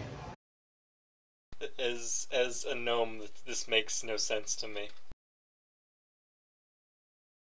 Well, as Just you uh, because he's a gnome. as Pedwin confusedly looks at this or, or watches over this dwarf, you can see that amongst all the things that are collected around him are primarily farming tools and plows. All of it very, very well made, but none of it's really built for warfare. And his wife comes out of the shop and, and gives him a little kiss and a little bit of food on a plate, and she just disappears back inside. And you can see that he, he seems quite content with himself. So I think you're Odd misjudging this people. town all over. They're fucking pod people. Pod people. Pod people. The Twilight Zone. I wouldn't know. They're not pod people. Yes, yes, they are. No, they're I- not. I don't believe you. They're not pod people. I don't even know what a pod person is. He's There one are- of um. I'm trying to remember if there was just one Twilight Zone thing or multiple Twilight Zone things about pod people. What does it matter if he's a pod person or not? He was nice. What do you have against nice people, Joe? Okay, it wasn't. It was Invasion of the Body Snatchers, not not uh, Twilight Zone. There was a Twilight Zone worth pod people. I don't get what you're getting at. Who are these pod people and why should it matter? Well, there's a Twilight Zone where when you fell asleep, aliens took over your body. Sounds like Invasion of the Body Snatchers. Yep. I don't think that's what's going on here, Joe. Or was that or was that Invasion of the Body Snatchers or was that pod or was that Twilight Zone? I don't remember. I don't know. I've actually never seen a full episode of The Twilight Zone. Oh, you're the worst type of person. I haven't seen one in forever. No. Horses are the worst type of people. What? What? What? Hey, I can't be horses? true. Because horses star in the best type of porn. Do you mean to say whores or horses? I said horses. Horses are terrible people. You're right, they do make for terrible people. Do you know what else makes for terrible people? One. Mosquitoes. Yeah, they suck. I still say they're pod people.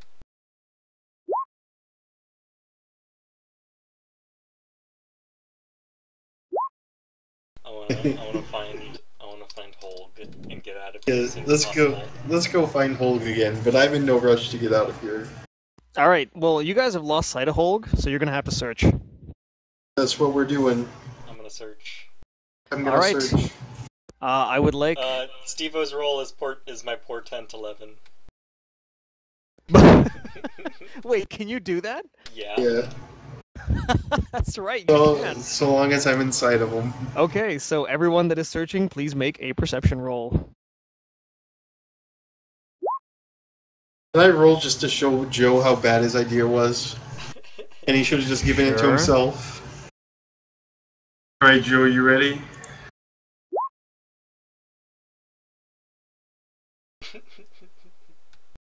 I purposefully did it to Actually- make it worse. Wait, that's eleven. Actually, it would be 11. an 11.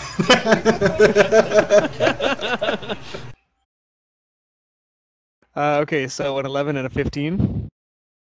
Damn, Joe, you should have saved your eleven for you. I, I wanted to make his worse, not mine better. I am quite surprised that such a thing exists that you control your own teammates like that. But hey, I, I think I think it works for anyone you can see, right? Yep. Uh, wait, so you could do that to an enemy? I can do that to anything that rolls. any a D20. creature. Anything that rolls a d20 in my line of sight. Starting at second level, when you choose the school glimpse, of the- no, no, no. when you finish a long rest, roll two d20s. You can replace any attack roll, saving throw, or ability check made by you or a creature that you can see with one of these foretelling rolls. Wow, you can affect anybody with that. That's amazing. Yeah. That's amazing. Okay, so as the group of you are wandering around, okay, you're taking in the sights as you pass by the smith. You notice there's a sign stuck out front. It's uh, emblazoned in brass and and very very highly polished. You can tell it's kind of a point of pride, and it says "Mobby the Smith."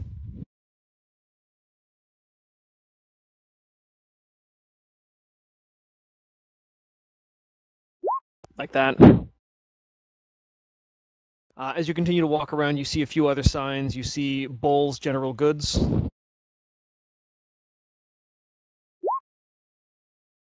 Uh, you see the tavern. I think we should check the tavern. Uh, you see Oh. the temple, and you get a little bit closer to the lake, and you can see that that stone platform is kind of a, a viewing platform. I want to view from the platform. platform. All right. Everybody wants a view from the platform. Wait, what came Uh, of well, our I think perception Steve-O's rolls? going to the the tavern. What came of our perception rolls? Uh, You're looking around the town, Oh, okay. so I'm telling you what came of your perception rolls. I went to the So you do spot uh, you do spot you know some of the children are are a little surprised to see a group of strangers that they've never seen before in their relatively small farming village, but for the most part they're just you know amusing themselves doing child things. And we're gonna keep an eye on Swift Panda.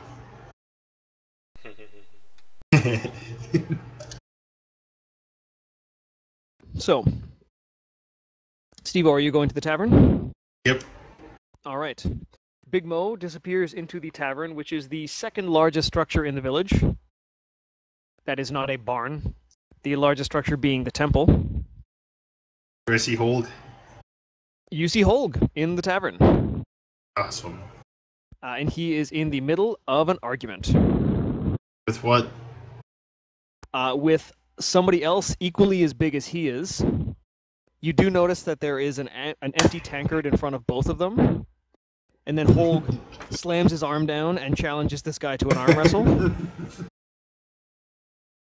And the two of them immediately begin arm wrestling.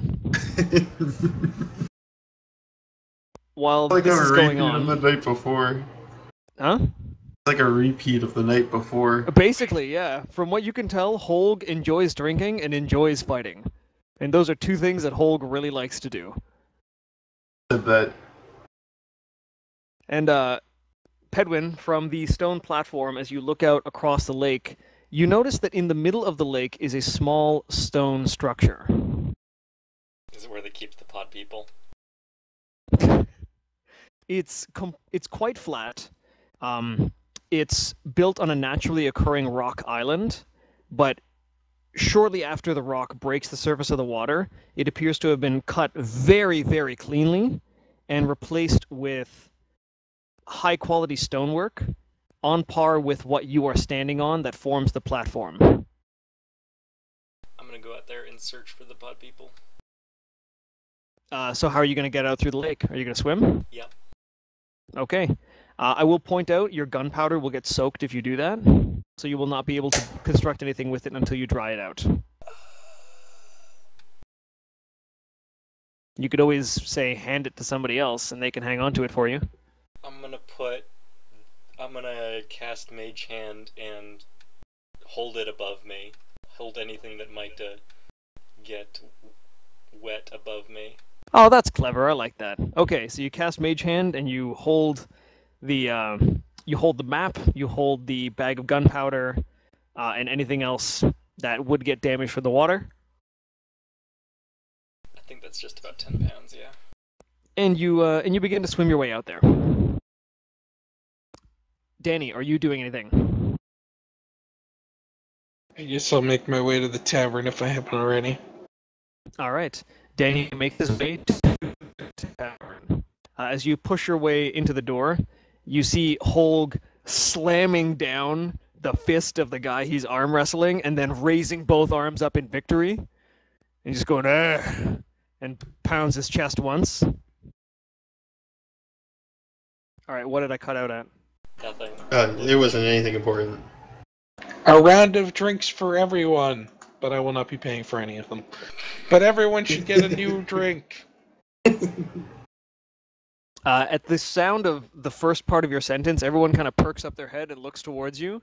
And then at the conclusion of your sentence, everyone turns back around to what they were doing. Uh, Holg then, in still arms raised in victory, demands that the guy that he beat in an arm wrestle buys him a drink. And the two of them get into a short staring contest, and eventually Holg just snorts and then turns away and walks back towards uh, Big Mo and Danny. As he gets up towards the two of you, uh, he says, I asked around. Ain't nobody seen anyone match Janae's description, but I imagine she uh, doesn't quite look like herself. Well, we also know Mr. One Boot came through. Oh, you mean that uh, That freak with the big axe. Yep. He's been here then. Yep. Oh, maybe that's who they're talking about. Huh? Oh, this fool. And he, he waves his hand over towards the guy that he beat. He claims that a man with one boot walked through this town yesterday. Very late in the night. My guess is people around here go to bed rather early. Probably work to my advantage. The the sentence that sentences he's saying now start to kind of trail off, and he seems to very much be talking to himself at this point.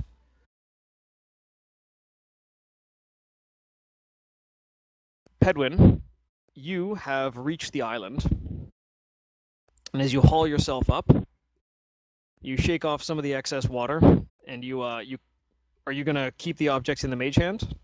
Uh, I'm gonna grab the bomb, keep everything else in the mage hand. Okay. You pick the bomb out from the mage hand.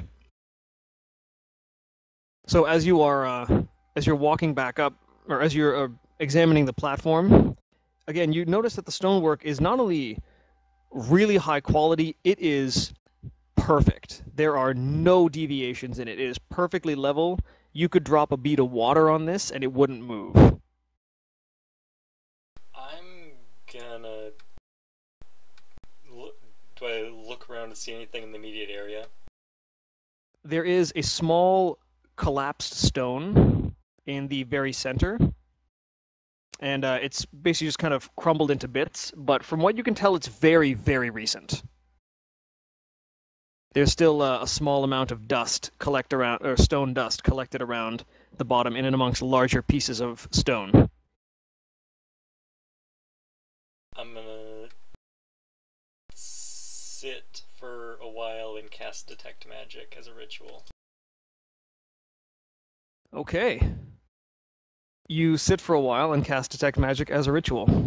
Uh, we will come back to you very shortly. Uh, anyone in the tavern doing anything, or anyone in the town doing anything? I'm gonna try to make money by playing a song. Alrighty, let's have you uh, perform a perception roll, or uh, a performance roll.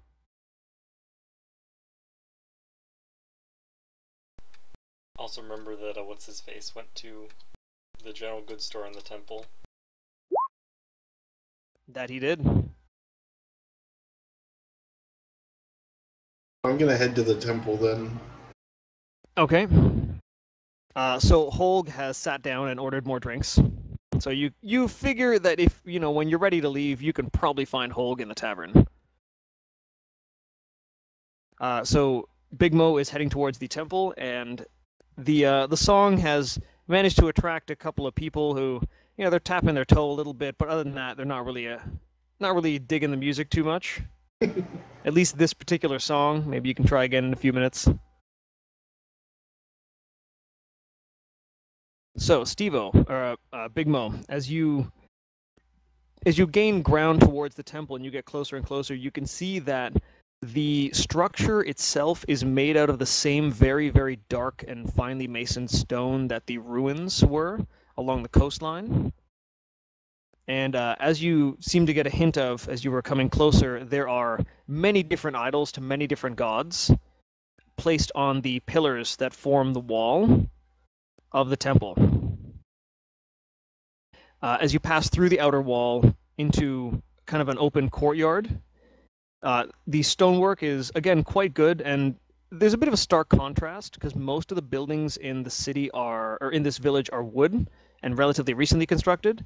This seems older, and it seems really, really well made. Like it is meant to last and stand the test of time. The main building itself has a large ornate door made of a very dark wood that is dissimilar to that which is used in the construction of the village. I open the door. You can open the door. The door is unlocked. We'll open the door and walk inside. Uh, as you do so, you you press against the door, and it's quite heavy, and you gotta you gotta give it a good push, but it does give way and open up. Hold on, hold on. HVG, my name's Big Mo. I should be able to push it open with ease. It's a pretty fucking big door. How did how did the kids on the island push it open? Who says the kids on the island push it open? Okay, never mind. So you you push these very heavy doors open, and as you do so, uh, there's only one person in the temple at this moment, and he seems kind of surprised that somebody just opened the door.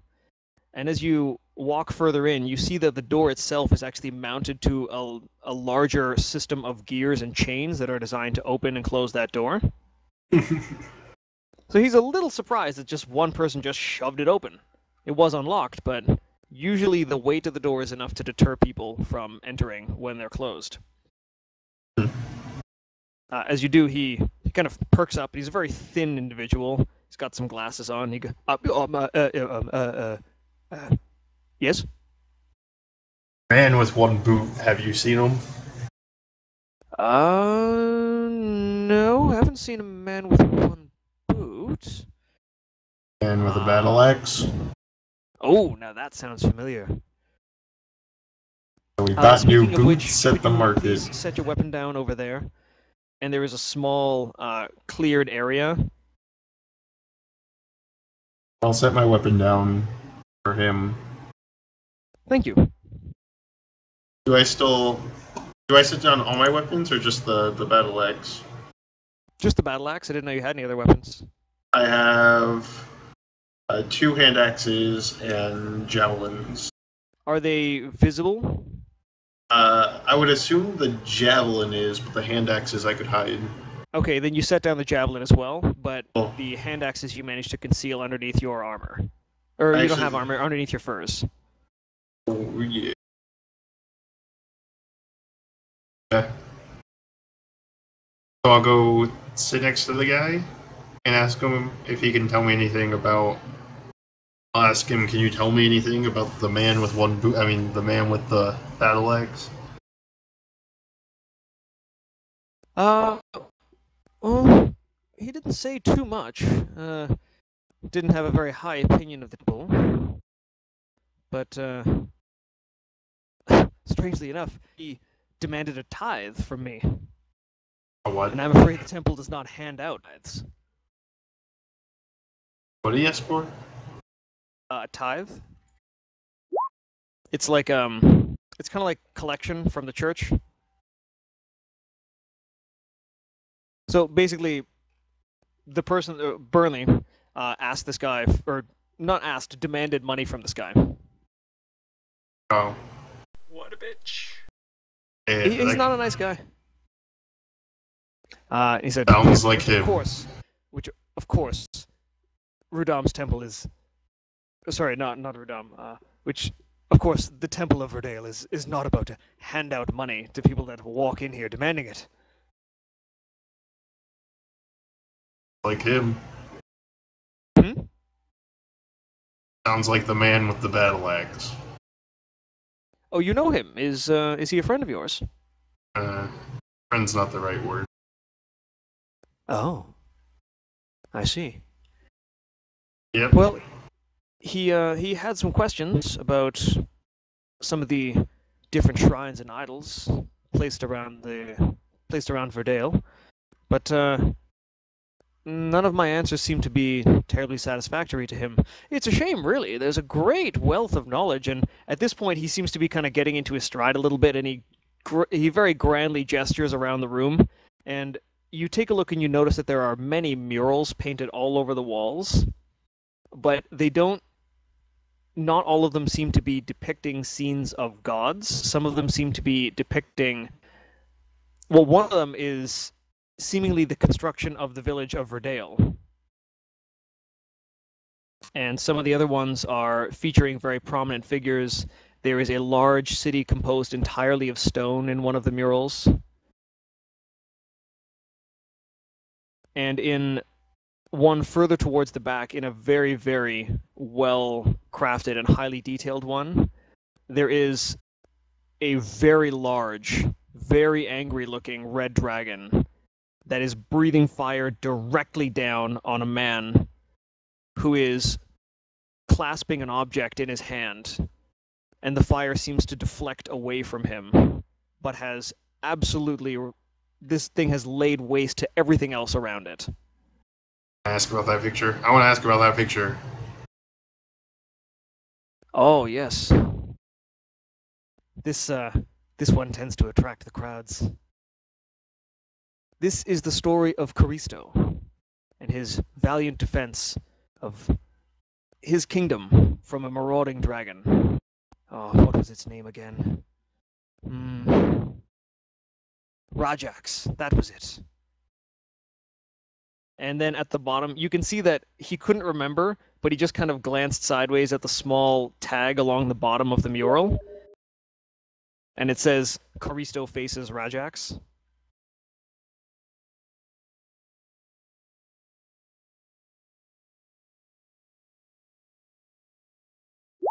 Says that.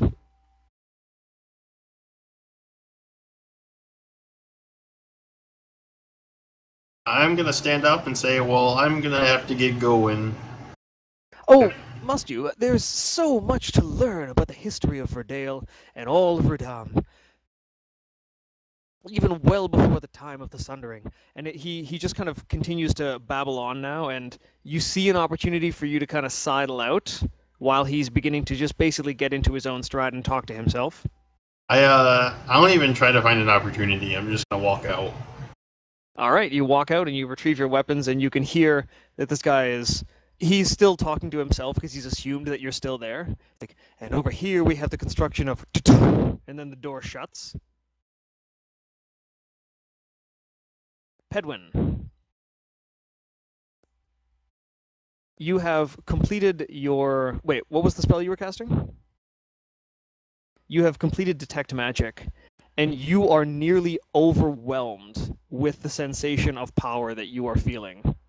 It is an oppressive feeling, and it is it is actually straining to you to to try and and maintain your focus on what it is you are within. But the sense that you get is that it's been there for a very long time and is slowly diminishing.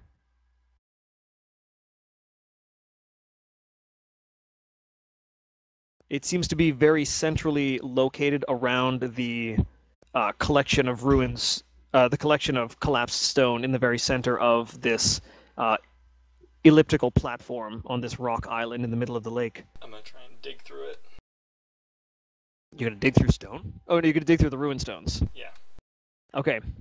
Um, so as you start moving the stones, uh, what you realize is that some of them have engravings on them. And as you continue to kind of shuffle them back and forth, you can see that not all of them do, but some of these things are, m- quite a few of these are engraved. Make a teleportation room.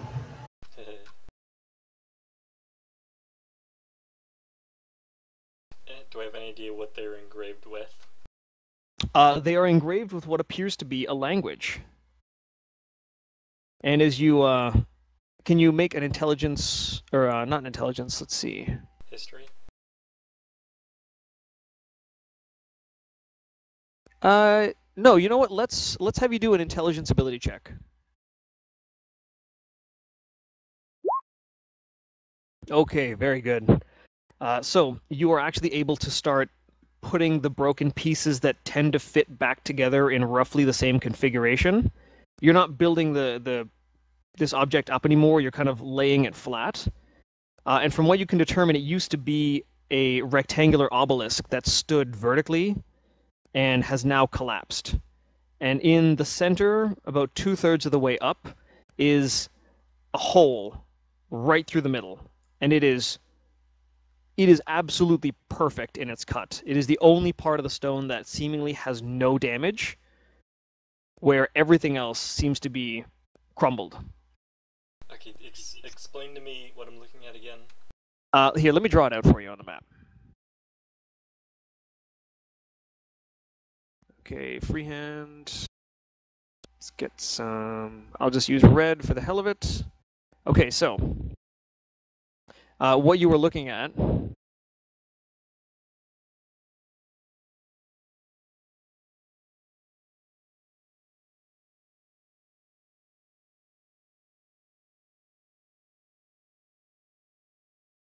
Well, it's a little bit lopsided, but that circle's supposed to be right in the center.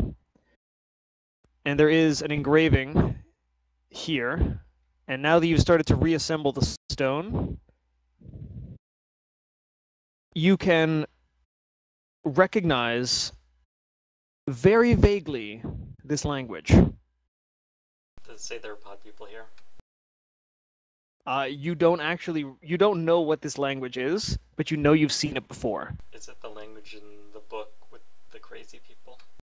It is the language in the book that you read before.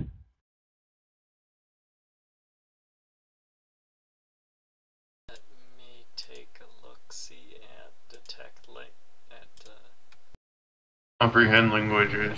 languages.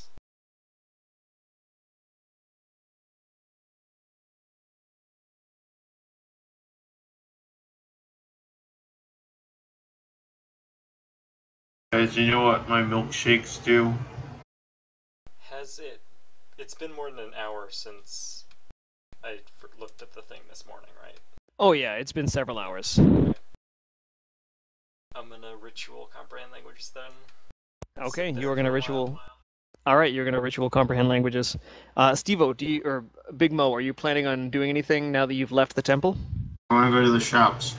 You are gonna go to the general goods store. Okay. Uh, did you want to wait for Pedwin, or do you want to go there right now? I can go there now. I, all I'm doing is questioning, so. Okay. So, uh, you walk over to a wooden structure that seems to be titled Bowles General Goods. And you walk right in. This door is significantly lighter than the previous one. Must be well built. And uh, as you walk in, you take in the fact that this building is it's not a perfect square, it's actually a little bit on the octagonal sides, but the diagonal faces are much much shorter. So picture a, a square with some of the corners cut off. Uh, it's got a few windows to the outside. There is a, a light scent of incense, and there's a few drapes around it. It's fairly nice on the inside. Conceivably, the person that runs it is doing reasonably well in terms of their business. And as you look around, you do notice one individual, a human, is standing at the desk, and now that he's noticed you, he raises both arms up. Welcome to Bowles General Goods. What can I help you with? Get some Alizé. I can buy at General Goods. Alizé. Come on, that cannon you gave me, Joe? Do I have gunpowder and ammo for it? Uh, no. I'm not certain where you would have gotten uh, ammunition for a small cannon, and Joe's got the or Pedwin's got the gunpowder. Okay, well, I'm gonna. Like a single. It was a single shot, little like very little gunpowder. Yeah. Just like you do a little clicker and it lights the flame and it goes poof. Okay, I'm gonna. So you I'm basically gonna. gave him a flintlock pistol. Yeah. All right. It- So I'm gonna. I don't think it would do more than like one damage to anything. Okay. Well, I'm gonna put the cannon on the on the ground or on the counter, and then ask if he might have anything round that will fit into the end of it. Essentially, ammo. Uh, Well, There's a little. There's a little ball bearing in there right now. Well, I so want more. Bull picks up the cannon and he he examines it a little bit and he he tips it a bit and the existing ball bearing rolls out. Can I And catch he, it? Hmm? Can I catch it? Well, he's picked it up by now. It was sitting on his desk. He he picks it up and just examines it very closely. You hear a hmm. Uh, yes, yes, I think we do. And he turns around and he rummages through uh, a chest that's against the back wall. And you do notice that it, the back wall does have barrels and chests and crates and stuff like that, and a small door to seemingly another room at the very back of the store. He comes back with a small bag and puts it down on the desk, and you hear the sound of, uh, uh, what sounds like marble or stone or uh, or metal kind of rolling over itself. And it opens a little bit, and inside you see are a collection of different ball bearings made of different materials. Cool. Ask him how much for, for the whole bag.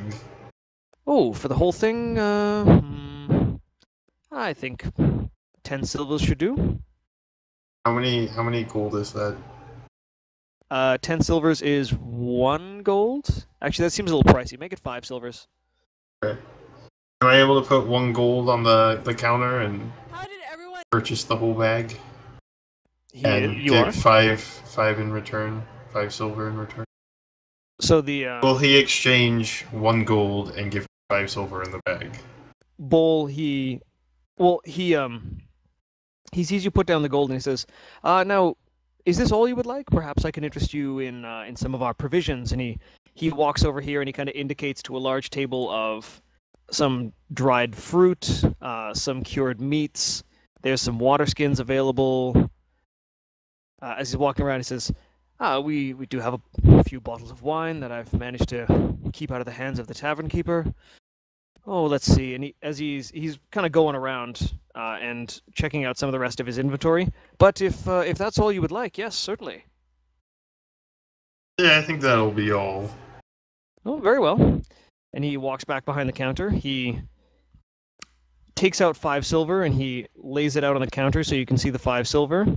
And then he pushes the ball bearings towards you and takes the gold piece that you put down on the counter. I'm gonna add bag of ball. My inventory. balls. No ball Is there- bearings. Is there anything else? I did have a question. Uh, have Oh? you seen a man with one boot? Yes, yes, I have. Uh, Oh, not a very pleasant fellow. He uh, No. came in looking for a pair of boots, oddly enough. Yeah, yeah, yeah. I have his. I have his other one, and then I. He uh, he also had a few questions. Asked about a map of the island. Uh, sadly, I don't carry any of those. You would uh, have to speak to the. You'd have to speak to Jorl in the temple. What kind of general goods store doesn't have maps? This is all a sham. Uh, can I ask him? Can I ask him if he? I, I'm gonna ask. Do you do you know where the man with one boot went? Hmm. Well, he seemed very curious about the island in the lake. Uh, and then, after I told him that uh, he should speak to Jorl regarding the maps, he uh, he left shortly thereafter. He definitely seemed to be in quite a bit of a hurry. Are you looking for him?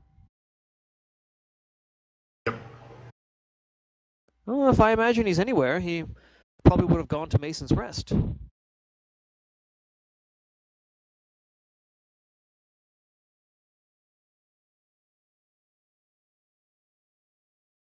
Will there be anything else? Perhaps I can interest you in some of our armor. And he Uh, moves over to one of the mannequins that's lining the side of the wall. This was made by my brother-in-law, Mobby. It's very, very fine craftsmanship. He insisted on keeping it in his shop, but I decided that it would be much better suited here. Is Mobby the? The guy Mobby who? is the smith, the dwarf that you met. Okay. Uh, I'm gonna I'm gonna say I appreciate the offer, but I uh, don't wear armor. Oh, then uh, perhaps we could interest you in some of our weapons. I have a very fine mace here. Again, my my half brother's handiwork. He's quite the craftsman. Not much of a conversationalist, mind you, but I assure you. And he he's gonna go on like this for a while. Uh, is he caught up and speak like the temple man? Yep. Can I just walk out? Will he notice? Will he notice if I just walk out? I'm just gonna walk out anyways. It's, it's okay. I'm not a very uh, talkative person. I'm just you're, gonna yeah, walk you're out. not a, a very charismatic individual. Uh, Yep. so as as you're leaving, you could hear him say, uh, "Oh, but uh, but you haven't seen yet." Uh, and then he is you just leave earshot, and you've walked out of the store by now. And you swear as the door is shutting, you hear a, "Oh." Pedwin has finished casting Comprehend Languages. And the inscription on the stone matches exactly with the note that you found off of Burnley. Oh, it's the same. Fucking autocorrect. It's the same. Uh, meant to be comprehending. Ah.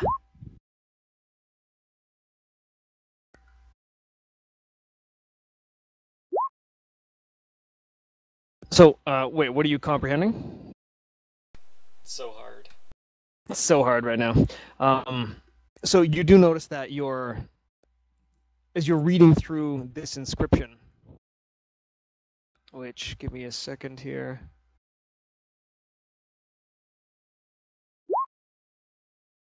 Uh, as you are going through it, you're actually saying it out loud. I think comprehend languages allows you to speak it, doesn't it? I don't.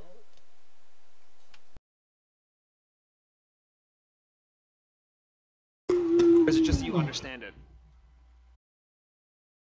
You understand any written language, and you know you understand the literal meaning of spoken language.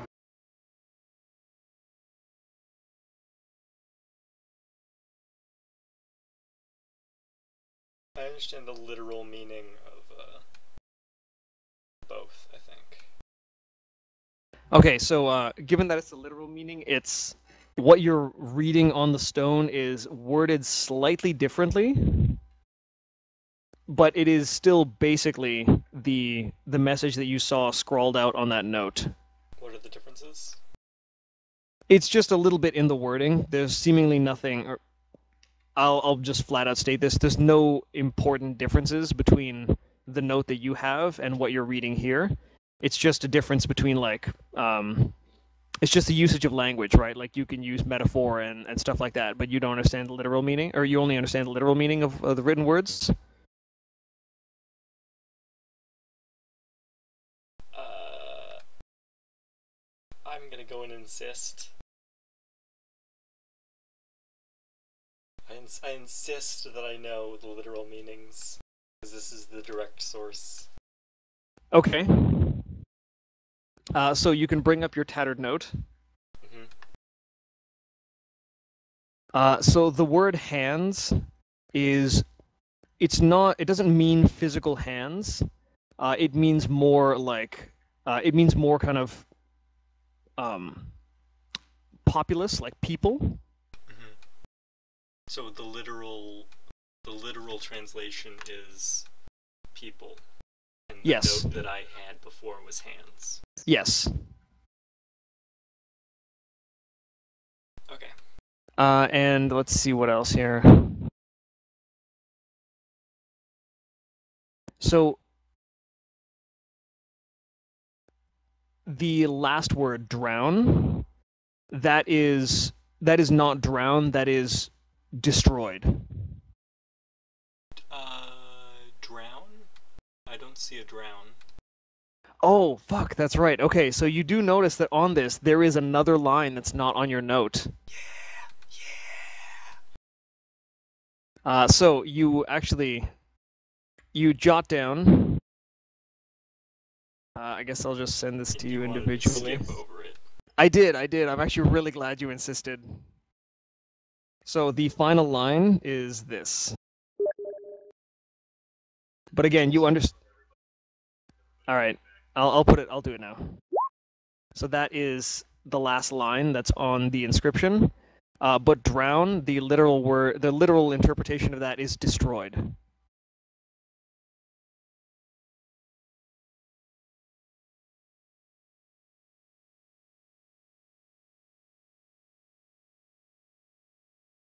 Uh, the weave is okay. So the word for the weave is kind of a is a very very vague term meant to refer to mysticism and magic in general. But it's it's using it in a very all-encompassing term. So in the same way you would describe a wizard or a warlock or a sorcerer, oh, they're a magic user. It's that kind of all-encompassing term. Yes.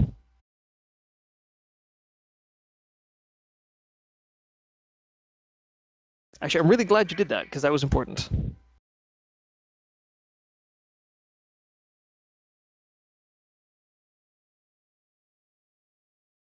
Okay. So you swim back. Uh, you probably cast Mage Hand again. So as you uh, as you're swimming back, you reunite with the rest of the party. Big Mo has returned and he is now waiting for you a little bit on the impatient side uh, on that stone platform that you were initially standing on when you spotted the island.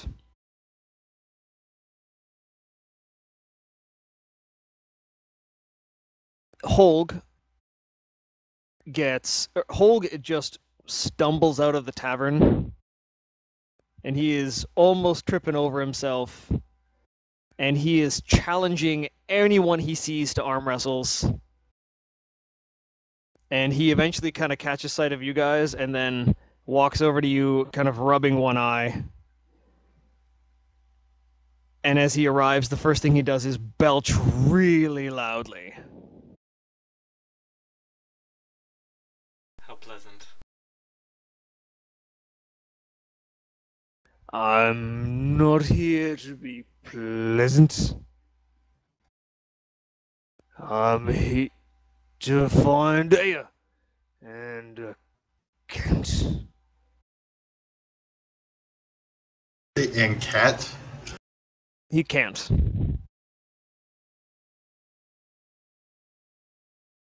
Or someone reported seeing a pretty girl, uh, but she's not here anymore.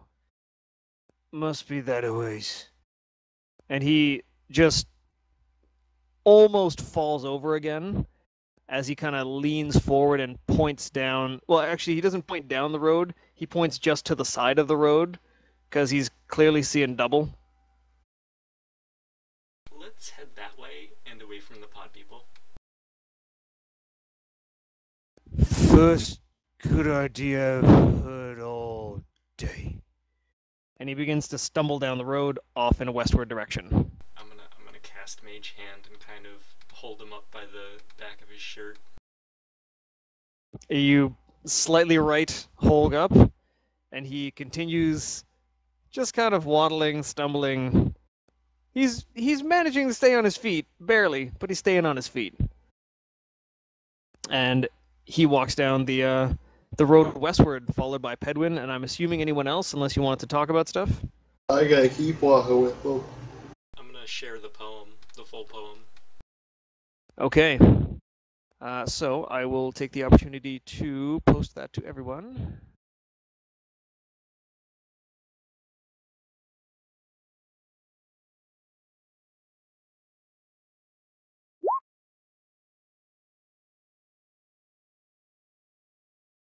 So Pedwin describes how the note that he found off of Burnley had this written on it, and the note itself is very old. There's nothing magical about the note itself, it just has this written down. Although it doesn't have the last line, or the last two lines, Awakened Hearts from then on, is not included on the note. But Pedwin shares the fact that uh, as he pieced together this stone that was on that small island, uh, he found it and he he saw this additional line. And other than that, the only other remarkable qualities of the stone was the fact that it had this hole partway through it, and it was seemingly this stone was one complete slab. It wasn't put together, it wasn't laid like bricks with mortar. It was one complete slab of stone. The only piece on that island that was one solid piece of rock. And Big Mo shares some of the details that he learned walking around the town and asking questions. So he's learned that the temple seems to have a combination of history about the island and worship of different deities. Amongst the ones you can recall, there were deities of the harvest and gods of the sea for the fishermen. There was, and Kanye notes this, there was an altar to Tyr. And at the mausoleum, there was also, uh, hell, what's it called? Bob. No, they're uh, on the mausoleum where they store some of the more important dead folks, like previous uh, previous people who uh, tended to the temple. there was a statue of Kelemvor, who I'm just going to fill everybody in, is the deity to which Danny Sexbang has pledged himself, and Tyr is the deity of uh, the god of justice that Kanye the Giant has pledged himself to. And both of those shrines fight, fight. bear the symbols of those gods.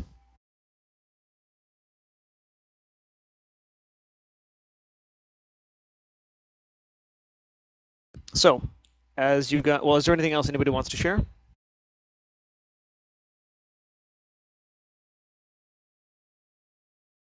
All right. So, as you continue down the road, it's now starting to get a little bit later in the day. So the the sun has definitely passed its zenith by now. It's starting to the sky is turning a little bit on the purple, slightly orange side. So you're getting on in the afternoon, or you're getting on in the evening now. It's probably about 6 p.m. And the sun will be going down in roughly an hour or two. As you guys continue down the road, you notice that the forest becomes much, much thicker the further inland that you go. There are small swells and hills here and there, but the topology of the land is relatively even. It's, again, very, very lush and just covered with greenery. If there's not trees, there are just big fields with shrubs. You see some local wildlife, birds here and there are they're singing their songs.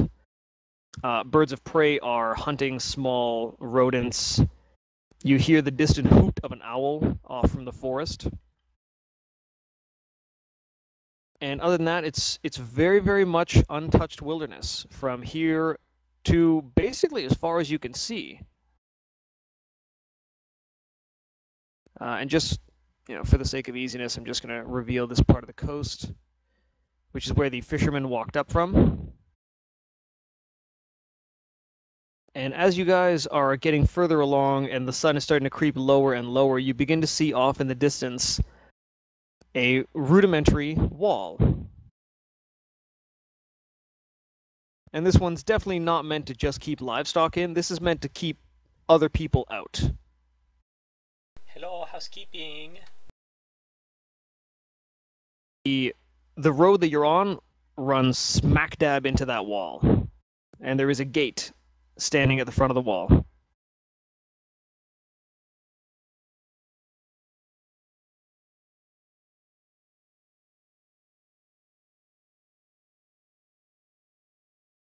What are you guys gonna do? Go up to the wall and say Candygram.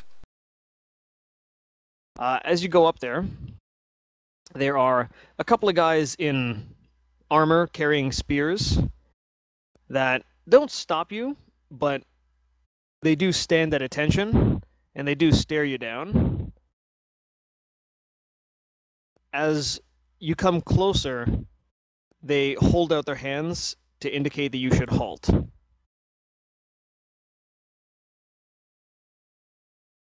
I hold out my hand with uh, produce flame in it, in it and wave hello. I keep The- walking and give one of them a high five. The one you give a high five to, you go to slap his hand, and he sidesteps and grabs the top of your hand, pulls you in a circle, and then throws you away from the wall. What is this guy? A giant? He's a pretty big guy. And you did just basically reach your hand out. I and gave him a high give him. five. Well, these are guards. They're not really in the mood to high five random people, especially a group that walks up armed and armored. We're on what seems like an uninhabited island, minus the pod people. It's not uninhabited. That village you came from probably had up to a thousand people in it. Oh really? what? You made it sound like there were like ten people there, Oh, then that was my mistake. especially with the three houses. What? That was in that was in the center of town. There was there's farms and barns all around that area. Okay. I'll add to the map for next time. I say Candygram again. The guard just looks at you confusedly. Put that out. Again. Beetlejuice, Beetlejuice, Beetlejuice. I, I put it out and I cast it again with my other hand behind my back. The two guards, sorry, more guards walk from the inside of the wall that you couldn't see. So there are now four armed individuals with spears standing in front of you. What Candygram. business do you have here? Candy- We're looking for a man with one boot, or a man with a battle axe who came by this way last night. Who looks like he used to have one boot. Very The guards shady kind of look confusedly at each other. I don't know much about boot, but if you're looking for men with axes, well, there's plenty of them up in the logging, uh, up in the logging camp, and he indicates over to the east, where you notice there is another road that leaves this small walled area that disappears off into the forest. We're talking about battle axes. One of the guards reaches out or reaches into uh, a small divot in the wall and pulls out a large battle axe like this. Is Holg sober yet? Uh, Holg has sobered up enough that he is he's aware that a fight could start. Does it look like Navigator Burnley's battle axe? Nope, it looks like a regular battle axe. Uh, what was special about Navigator Burnley's? Uh, Burnley's axe was entirely made of metal, and it was mostly very dark blue, portions of it charred black. Well, describe the axe and say no. It looked like this. the guards seem uh, they kind of talk amongst themselves a little bit and one of them turns to or amongst the group of them the first that initially uh, tossed steve or tossed big mo away after kind of redirecting his high five. Uh, says we don't answer questions. We ask them what are you doing here? We're looking for this guy I just described, as I told you a good 30 seconds ago. He chuckles and shrugs. Sorry, mate, but people come in here every day. This is the trading center of Verdam. If you're not in Mason's Rest, this is where you go if you want gold, girls, and something to drink. And at that point, Holg perks right up. He is all ears now. I just want And to deliver my candygram. The guard nearest to you looks at you and says, What is a candygram? I I wish I passed a vegetation. Sorry, I don't think you do. No, I don't. I I I uh beckon him closer to me. He inches a little bit closer to you. I bring my hand like I'm gonna whisper something into his ear. he puts his spear down and takes out a short sword and then edges a little bit closer. Excited. I, I I use my arms to imitate a shark and I bite him with my arms. You use your arms to imitate a shark, like you you give yourself a hug and you open up your elbows. And with that, I'm going to bed. Alright, Good night, JD. User disconnected from your channel. Like I lean I lean sideways and one one arm below and one arm above his head and I kind of gently snap down like a shark. Uh, he's a little bit confused, and then he he just picks you up and brings you up to his head height. So you're now like mm, two feet off the ground. Your legs are kind of dangling there. Uh, what happened to that produced flame of yours? Uh, that's a good question. Uh, I tapped him on the back with it, so his back, so his clothes may or may not have be, may or may not be on fire since I forgot to put it out. Uh, well, he he has a very good chuckle at this, and he looks you over and kind of turns you around and he gives you a quick shake, and then he puts you down. He says, "Nah, I don't think he's got enough gold on him. Listen, if you're here to trade, get trading. Otherwise, don't start a what the." And he notices that his cape has caught fire. I'm gonna run into the town as fast as I can. You have got to beat Holg because the moment he heard gold, girls, and something to drink, he immediately beelined into the town. I'm gonna, I'm He gonna actually just back. he just pushed a guard. He just pushed him with his great big gray hand and just shoved him in the face out of the way and went immediately into the loudest building he could find. Charge! I'm gonna, I'm gonna chase after him as fast as possible. All right. Now the the rest of the guards seem a little bit on the confused side, but are more concerned with stopping the fire that just sprouted up on somebody. And given that nobody started a fight, they're willing to let you through. Uh, you walk into an area that the Hold on, hold on, land- hold on, hold on. How does catching someone on fire not count as starting a fight? Well, they didn't see the flame in my hand. No, they didn't. Oh, okay. They were just entirely too amused with a gnome that like shark armed this guard on the face and just did nothing. So it's a combination of like amusement and confusion. That's convinced these guards that you don't mean any kind of harm or threat. And you start you kind of get the idea that this place everybody just kind of does their own thing here because you're looking around and you notice that there first off there's no grass within the walls it's all uh, it's all kind of earth or wood chips and the walls themselves they're not like they're not really really strong and sturdy they're they're more there as uh, uh, something that's imposing to the outside and meant to look threatening. But they're not manned by very many people. There's no turrets or watchtowers. There's just there's a, a rim that runs around the inside where somebody could stand and look over the edge and theoretically fire uh, a arrow or a bow. You notice amongst all the places that there are minstrels abound, and there are there's a small group of people just dancing up a storm, listening to somebody else's music. People are drinking, they're laughing. There are scantily clad girls all over the place there are court there are courts there are horses and carts that are coming in from all four directions so you guys have actually been like the same door that you guys walked through have had other people come in behind you and everybody seems to be there for a purpose and nobody really seems to care what it is as long as you're not starting a fight Or a fire. or a fire